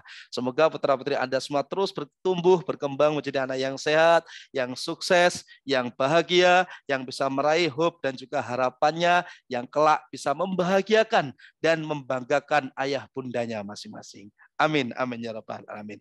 Terima kasih. Selamat siang dan Assalamualaikum warahmatullahi wabarakatuh. Saya kembalikan kepada Keira. Silahkan Keira. Thank you very much, Bapak Aris. It was really an amazing presentation. And I hope you all enjoyed this presentation. Sekarang, Bapak Aris akan menjawab beberapa pertanyaan yang telah dilontarkan selama pemaparan berlangsung. Jadi, pertanyaan pertama ialah, terkadang orang tua tidak sadar kalau ternyata cara berkomunikasi dengan anak salah Bagaimana cara kita sebagai orang tua mengerti kalau tindakan atau ucapan yang dilakukan benar? Oke, terima kasih uh, Keira ya. Jadi seperti yang sudah saya sampaikan tadi, pola komunikasinya adalah kita berinteraksi dua arah Bapak Ibu. Kita tanya kepada anak kita. Jadi apa yang dia inginkan? Apa yang dia harapkan? pada ayah. Misalnya kita sebagai seorang ayah nih, kita sebagai seorang bapak, kita tanya pada anak kita, nah bapak itu seperti ini itu gimana sih menurut kamu? Ya, bapak sudah benar tak? Bapak sudah baik kah? Ya itu disampaikan pada anak. Ya, kemudian nanti anak akan tolong dong, bapak dievaluasi. Kalau memang nggak mau langsung, ya boleh tulis surat, boleh. Ya, kemudian lewat pasangan juga bisa, lewat bundanya juga bisa. Jadi Pola komunikasi adalah pola komunikasi dua arah, Bapak Ibu. Ya, Anda tanya, Anda tanya. Karena memang kadang yang paling sering memang kadang itu kita keceplosan, ya. Kita nggak sadar kalau kita itu salah. Ya karena mungkin efek dari pekerjaan kita, bisnis kita dan sebagainya. Maka itulah pentingnya komunikasi dua arah dan pentingnya sinergi tadi. Ya kalau kita sama pasangan baik tentu akan diingatkan oleh pasangan kita juga. Mas kemarin loh, kamu biasanya nggak kalau marah nggak ngomong gini, kok sekarang ngomong begini ya? Oh ya maaf gitu. Harus legowo, harus ikhlas begitu. Ya, jadi komunikasinya dua arah. Jadi tidak hanya kenapa sih kamu kok eh, kenapa kamu kok marah sama ayah nggak seperti itu, tapi dua arah. Nah, mungkin ayah salah. Kira-kira menurut kamu ayah ini salah apa sih? Apa yang belum ayah berikan sih untuk kamu? Kira-kira menurut kamu apa sih hal-hal yang harus ayah lakukan agar kamu itu bisa lebih sehat, agar kamu bisa lebih sukses? Menurut kamu apa nih? Nah, ketika dia sudah menyampaikan semua dan ada beberapa hal yang menurut kita kok, waduh nggak cocok ini, kita berikan pemahaman yang baik. Gini, kalau kalau seperti ini itu kurang pas menurut ayah. Gimana kalau kita ganti yang lain? Nah, contoh seperti itu ya. Jadi pola komunikasi adalah dua arah. Harus seperti itu. Mungkin kalau waduh terlalu rewel begitu kan, ya tetap tadi rumus yang paling akhir tadi. Angkat tangan katakan sabar ya. Itu yang paling kunci yang paling akhir. Begitu ya kira ya. Semoga bisa membantu pertanyaannya. Baik, terima kasih Bapak Aris. Lalu pertanyaan ya. kedua ialah Bagaimana cara membangun komunikasi yang baik antara orang tua, anak, dan sekolah? Oke, membangun pola komunikasi yang baik, tentu hubungannya harus baik dulu. Oke, yang pertama. Yang kedua, kita harus percaya. Orang tua harus percaya betul terhadap sekolah. Percaya terhadap sekolah dan percaya terhadap guru. Oke, karena kadang beberapa kasus orang tua itu kadang tidak terlalu percaya dengan guru, tidak terlalu percaya dengan sekolah. Kadang ya kan? Percaya kalau yang baik-baik, tapi kalau pas ada yang nggak baik, yang nggak sekiranya nggak cocok dengan anaknya, kadang nggak percaya. Padahal kadang guru, faktanya di lapangan, kadang guru itu yang lebih interaktif terhadap siswa, terhadap anak. Karena orang tua sibuk dengan pekerjaannya. Nah, kadang kasus itu sering terjadi. Maka harus percaya dulu. Oke, harus percaya pada sekolah, pada guru. Kemudian ya harus interaktif. Makanya seorang orang tua wajib tuh punya nomornya guru. Itu kalau bisa sering harus sebagai orang tua harus sering bertanya e, Bu gimana? Anak saya seminggu ini gimana? Kalau nggak bisa setiap hari ya seminggu ini bagaimana? Apa nih saya sebagai orang tua yang harus yang bisa saya lakukan untuk sekolah? Oh iya ini kita kemarin pembayaran sudah oke semua cuma kita mungkin mau dilebihkan. Oke siap saya lebihkan lagi ya sebagai orang tua yang dermawan ya. Jadi pola komunikasinya adalah ya sama dua arah. Jadi kita harus terlibat aktif. Interaktifnya harus maksimal antara orang tua dan guru. Kemudian ketika di rumah juga harus interaksi dengan anak orang tuanya. Jadi ketika pas di rumah orang tua juga harus tanya, "Le gimana tadi di sekolah gimana? Uh, ketemu dengan guru diajar Bu uh, diajar Miss Uci gimana Miss Uci senyum atau cemberut ya kan?" Nah, itu harus harus interaktif orang tua itu pada anak begitu. Jadi tidak cuek begitu loh. Jadi itu yang harus dilakukan. Nah kalau itu nanti sudah dibangun, dijadikan sebuah habits, dijadikan sebuah kebiasaan, akan timbul kepercayaan yang maksimal, akan timbul sebuah kenyamanan. Orang tua dengan anak sangat perhatian, sangat support, orang tua dengan sekolah juga sering berkomunikasi, apa yang bisa kita lakukan, yang bisa kita berikan untuk sekolah agar sekolah ini makin berkembang, agar anak kami bisa mendapatkan pelayanan yang lebih baik, itu harus terus disampaikan, harus terus dilakukan dalam berinteraksi terhadap antara orang tua, sekolah, guru, dan juga anak. Begitu ya, Kira. Terima kasih. Baik, terima kasih Bapak Aris. Ya. Um, ada pertanyaan selanjutnya, ialah ibu dan bapak sudah bersinergi, terkadang ada Mhm. saja faktor lain seperti kakek atau nenek yang Ya. tidak sejalan dalam mendidik anak. Baik. Bagaimana menghadapinya? Oke, seperti yang sudah saya sampaikan tadi di awal, ada beberapa hal yang bisa kita kendalikan, ada yang beberapa hal yang tidak bisa kita kendalikan, Bapak Ibu. Contoh, kita sebagai orang tua di rumah kita sudah be positif, kita sudah berusaha berkata yang baik, kita menghindari kata-kata negatif, kita menghindari kata-kata yang buruk yang masuk dalam pikiran anak. Tapi kadang di rumah ada nenek, ada kakek, ya kan, ya mungkin nenek lebih cerewet daripada kita mungkin yang mungkin beliau masih menggunakan pola yang dulu terhadap kita. Padahal anak zaman sekarang berbeda Bapak Ibu daripada anak yang zaman dulu. Nah, bagaimana kita menyikapinya? Itu di luar kendali kita. Kita nggak bisa maksa ibu kita, nenek, nenek nggak boleh kamu nenek seperti itu. Anak ini nggak nggak bisa Bapak Ibu. Itu di luar kendali kita. Yang bisa kita lakukan adalah respon kita ya membentengi anak kita itu. Nah, kalau memungkinkan kita tinggal sendiri, oke saja. Tapi karena tidak bisa memungkinkan, ya kita harus sering-sering melawan dengan kata-kata yang baik. Contoh, misalnya ada kata-kata negatif yang keluar dari mulut si nenek misalnya. Kita harus langsung lawan, langsung tepis Bapak Ibu. Atau ada beberapa sikap yang mungkin itu merugikan, mengkhawatirkan terhadap anak-anak kita harus kita lawan. Jangan dibiarkan. Maksud lawan bukan kita ngomong pada nenek bukan, tapi kita lawannya kita tepis dengan hal-hal yang baik, sikap yang baik pada anak kita.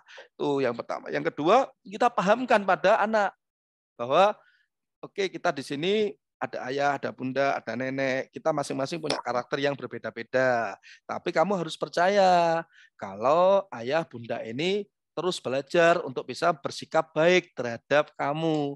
Dan ayah, bunda juga berusaha untuk menyampaikan pada nenek agar bisa bersikap baik terhadap kamu. Jadi nanti kalau ada sesuatu yang kurang baik, ya kamu harus pahami itu. Jadi diberikan edukasi kepada si anak tersebut. Selain kita memberikan benteng atau melawan kata-kata atau sesuatu yang buruk dengan yang baik kita berikan pada anak dan kita berikan edukasi. Ya, kalau kita dekat banget dengan uh, orang tua kita, ya kita bisalah edukasi dengan pada beliau. Tapi kalau memang sudah mentok beliau tidak bisa berubah, ya itu tadi itu adalah di luar kendali kita. Itu adalah hal-hal yang di luar kontrol kita. Tidak bisa kita kendalikan. Yang bisa kita kendalikan adalah respon kita, diri kita, sikap kita. Begitu kira kira-kira ya. Baik, terima kasih Bapak. Selanjutnya, bagaimana menjadikan anak agar bertindak murni dari diri sendiri tanpa adanya reinforcement atau seperti hadiah, pujian, dan lain-lainnya. Karena pembelajar sejati berasal dari dalam hati. Iya, oke. Jadi sesuatu yang baik itu harus dipaksa Bapak Ibu. Nah, fitrah anak ketika dia mendapatkan sebuah hadiah, dia akan lebih termotivasi. Nah, kita sebagai orang tua tentu harus mengedukasi. Ketika kita memberikan reward, itu bukan berarti kamu akan mendapatkan kamu ketika kamu semangat, ketika kamu berprestasi, kamu akan dapat hadiah.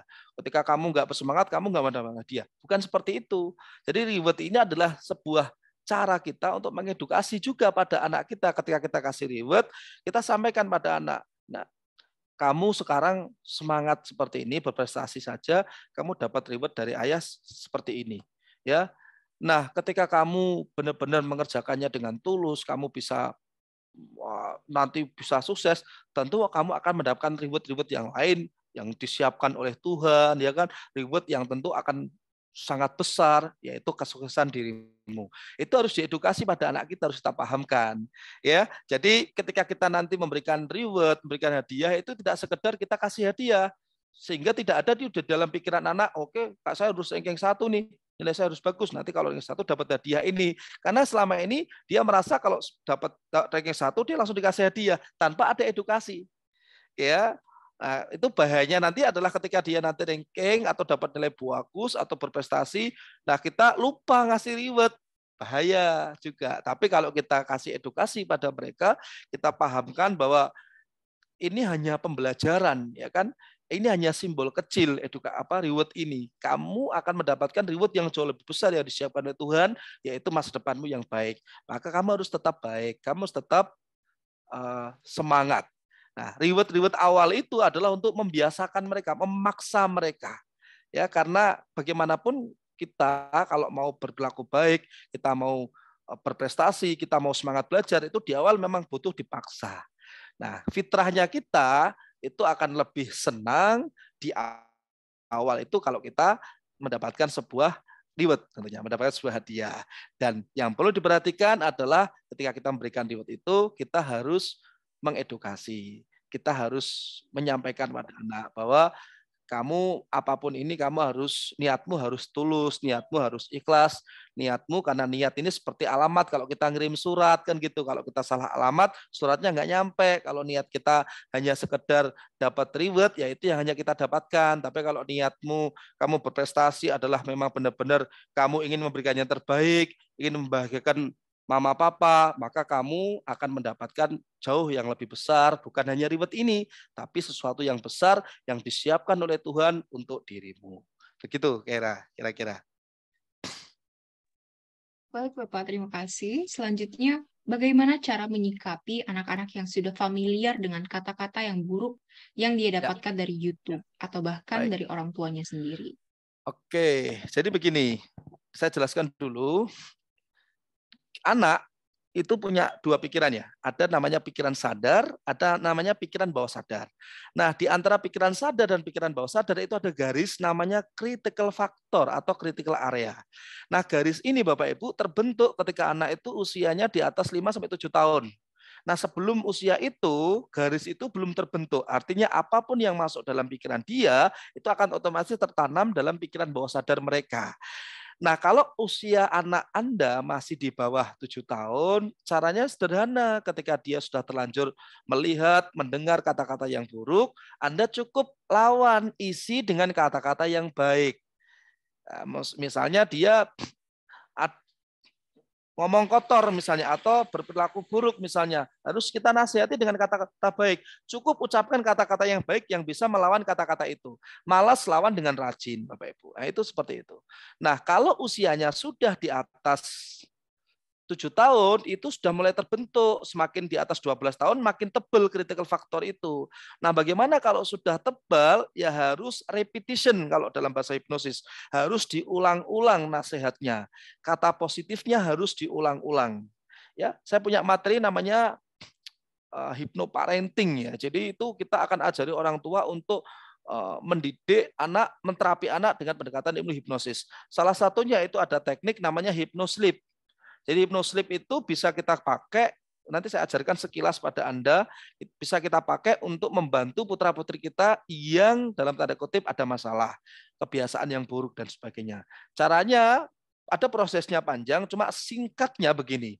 Ketika anak kita tidur ya 10 sampai 20 menit awal dia tidur, itu pikirannya masih jadi kalau kita sadar seperti ini, pikiran kita di gelombang otak kita adalah di gelombang uh, beta. Kemudian alfa ke theta. Nah, ketika kita tidur di 10 sampai 20 menit pertama, itu gelombang otak kita adalah di alfa ke theta.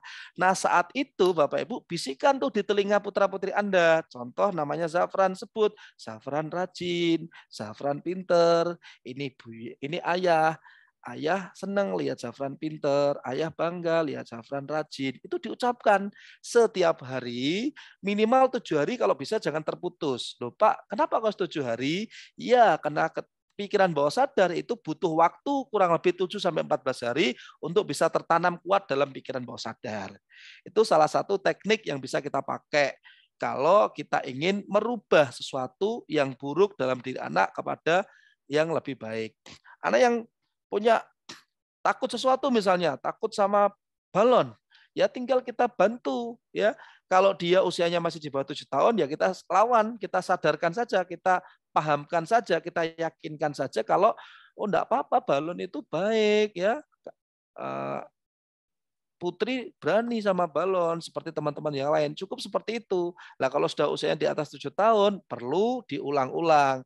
Nah biar mudah pakai yang tadi itu, hipnoslip tadi itu. Jadi pas tidur awal, ucapkan di telinga kanan, itu nanti, atau telinga kiri juga boleh, itu nanti akan otomatis tertanam dalam pikiran bawah sadar. Ya, Ada sebuah cerita menarik ini tentang hipnoslip ya, saya cerita sebentar. Jadi ada seorang istri itu pengen dibelikan diamond sama suaminya. Ini juga bisa dipakai pada suami atau istri ya. Jadi maka ketika suaminya tidur itu dibisikkan di telinga kanan suaminya. Mas, diamond. Pak, Mama pengen diamond, belikan diamond. Diulang-ulang terus sampai dua minggu Bapak Ibu. Nah, si suami ini pas pulang dari kantor, kok nggak tahu kenapa di pikirannya itu muncul pengen membelikan diamond pada istrinya. Akhirnya dia mampir ke sebuah supermarket, dibelikanlah diamond.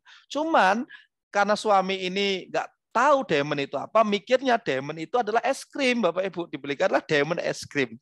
Sampai rumah dikasihkan pada istrinya. Ma, nggak tahu kenapa tadi aku pas di jalan kok pengen belikan diamond ya. Waduh, Pak, memang Mama pengen punya beli diamond, tapi maksud saya diamondnya itu berlian, bukan es krim. kok bisa lah? Oh, berarti selama ini saya di guna-guna ini.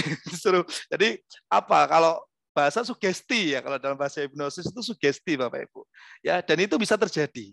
Maka kalau Anda pengen anak Anda yang dulunya mungkin sudah terlanjur nih dari yang dia lihat karena kita nggak bisa ngontrol itu mungkin terlalu bebas dia ya tinggal dia sering-sering kalau sama Anda ucapkan kata-kata yang positif ya Pak Habib Royan ya, ya betul ya beliau merasakan sepertinya ini ya. ya. Jadi seperti itu ya Bapak Ibu, ya. tinggal kita sugestikan kata-kata yang positif, tinggal kita ucapkan kalimat-kalimat yang baik pada mereka, khususnya di waktu-waktu spesial tadi. Begitu, Era ya. Terima kasih. Baik, terima kasih Bapak. Selanjutnya saat anak terlibat masalah, bagaimana cara kita membangun komunikasi kepada pihak sekolah agar tidak terkesan terlalu membela anak? agar anak tetap merasa nyaman dan dipercayai. Eh, gimana? Coba diulang. Saat Tadi anak terlibat terputus. masalah, hmm.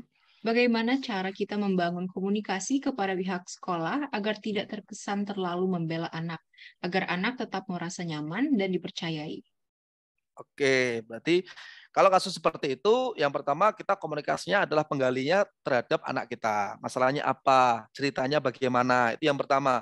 Kita cari data, kita cari alasan, kita cari datanya dari anak kita dulu. Oke, kita gali. Kita ketika kita sudah ketemu, klik, oh gini. Oh ternyata masalahnya ini. Kita langsung jangan menghakimi, waduh kok seperti ini sekolah nggak boleh. Kita harus cari data juga dari sekolah, dari guru, dari teman, ya. Cerita aslinya bagaimana sih, versi sekolahnya bagaimana, versi gurunya seperti apa, versi temannya seperti apa, baru kita uh, cari solusi bersama. Karena kebanyakan kadang kita itu lebih cenderung langsung percaya ke salah satu pihak ya kita belum menggali lebih dalam lagi. Nah kalau sudah benar-benar ketemu, oh ternyata aslinya nggak seperti ini nih, ya baru kita cari solusi bareng-bareng. Gimana anak saya seperti ini terus gimana bu? Ah, kira-kira menurut ibu gimana? Sama juga pada anak-anak kemarin kamu seperti itu itu itu nggak baik loh ya. Terus gimana? Ke depannya gimana ini? Menurut kamu bagaimana? Kalau itu terus kamu lakukan itu seperti apa. Nah, ibu itu percaya sama kamu, tapi ibu akan lebih senang kalau kamu itu jujur, kalau kamu itu baik. Nah, seperti itu. Jadi, kalau seperti itu komunikasinya disampaikan dan runtun, kemudian juga antar orang tua, guru, dan sekolah itu benar-benar interaktif banget, tentu tidak akan menimbulkan sebuah kesenggangan. Artinya tidak, waduh ibu kok lebih percaya sama sekolah sih. Tidak, kenapa? Karena kita punya datanya. Loh ibu itu percaya sama kamu, cuman ini kan dari ibu, dari guru, dari temanmu, dari sekolah kan alasannya seperti ini, ya kan? Itu disampaikan. Dan menurutmu gimana? Ya, Oke, ibu lebih senang loh kalau kamu jujur. Nah itu disampaikan seperti itu bapak ibu. Nah itu akan sangat berdampak baik nanti terhadap uh, pemecahan masalah yang timbul di sekolah yang dilakukan oleh anak-anak kita. Begitu kira kira-kira. Baik, terima kasih Bapak Aris. Sekarang Ya. waktunya kita untuk mengundang tiga peserta webinar untuk bertanya secara langsung kepada Bapak Aris. Silahkan untuk menggunakan fitur angkat tangan secara virtual. Kami akan meminta Anda untuk menghidupkan mikrofonnya. Silahkan Bapak dan Ibu untuk mengajukan diri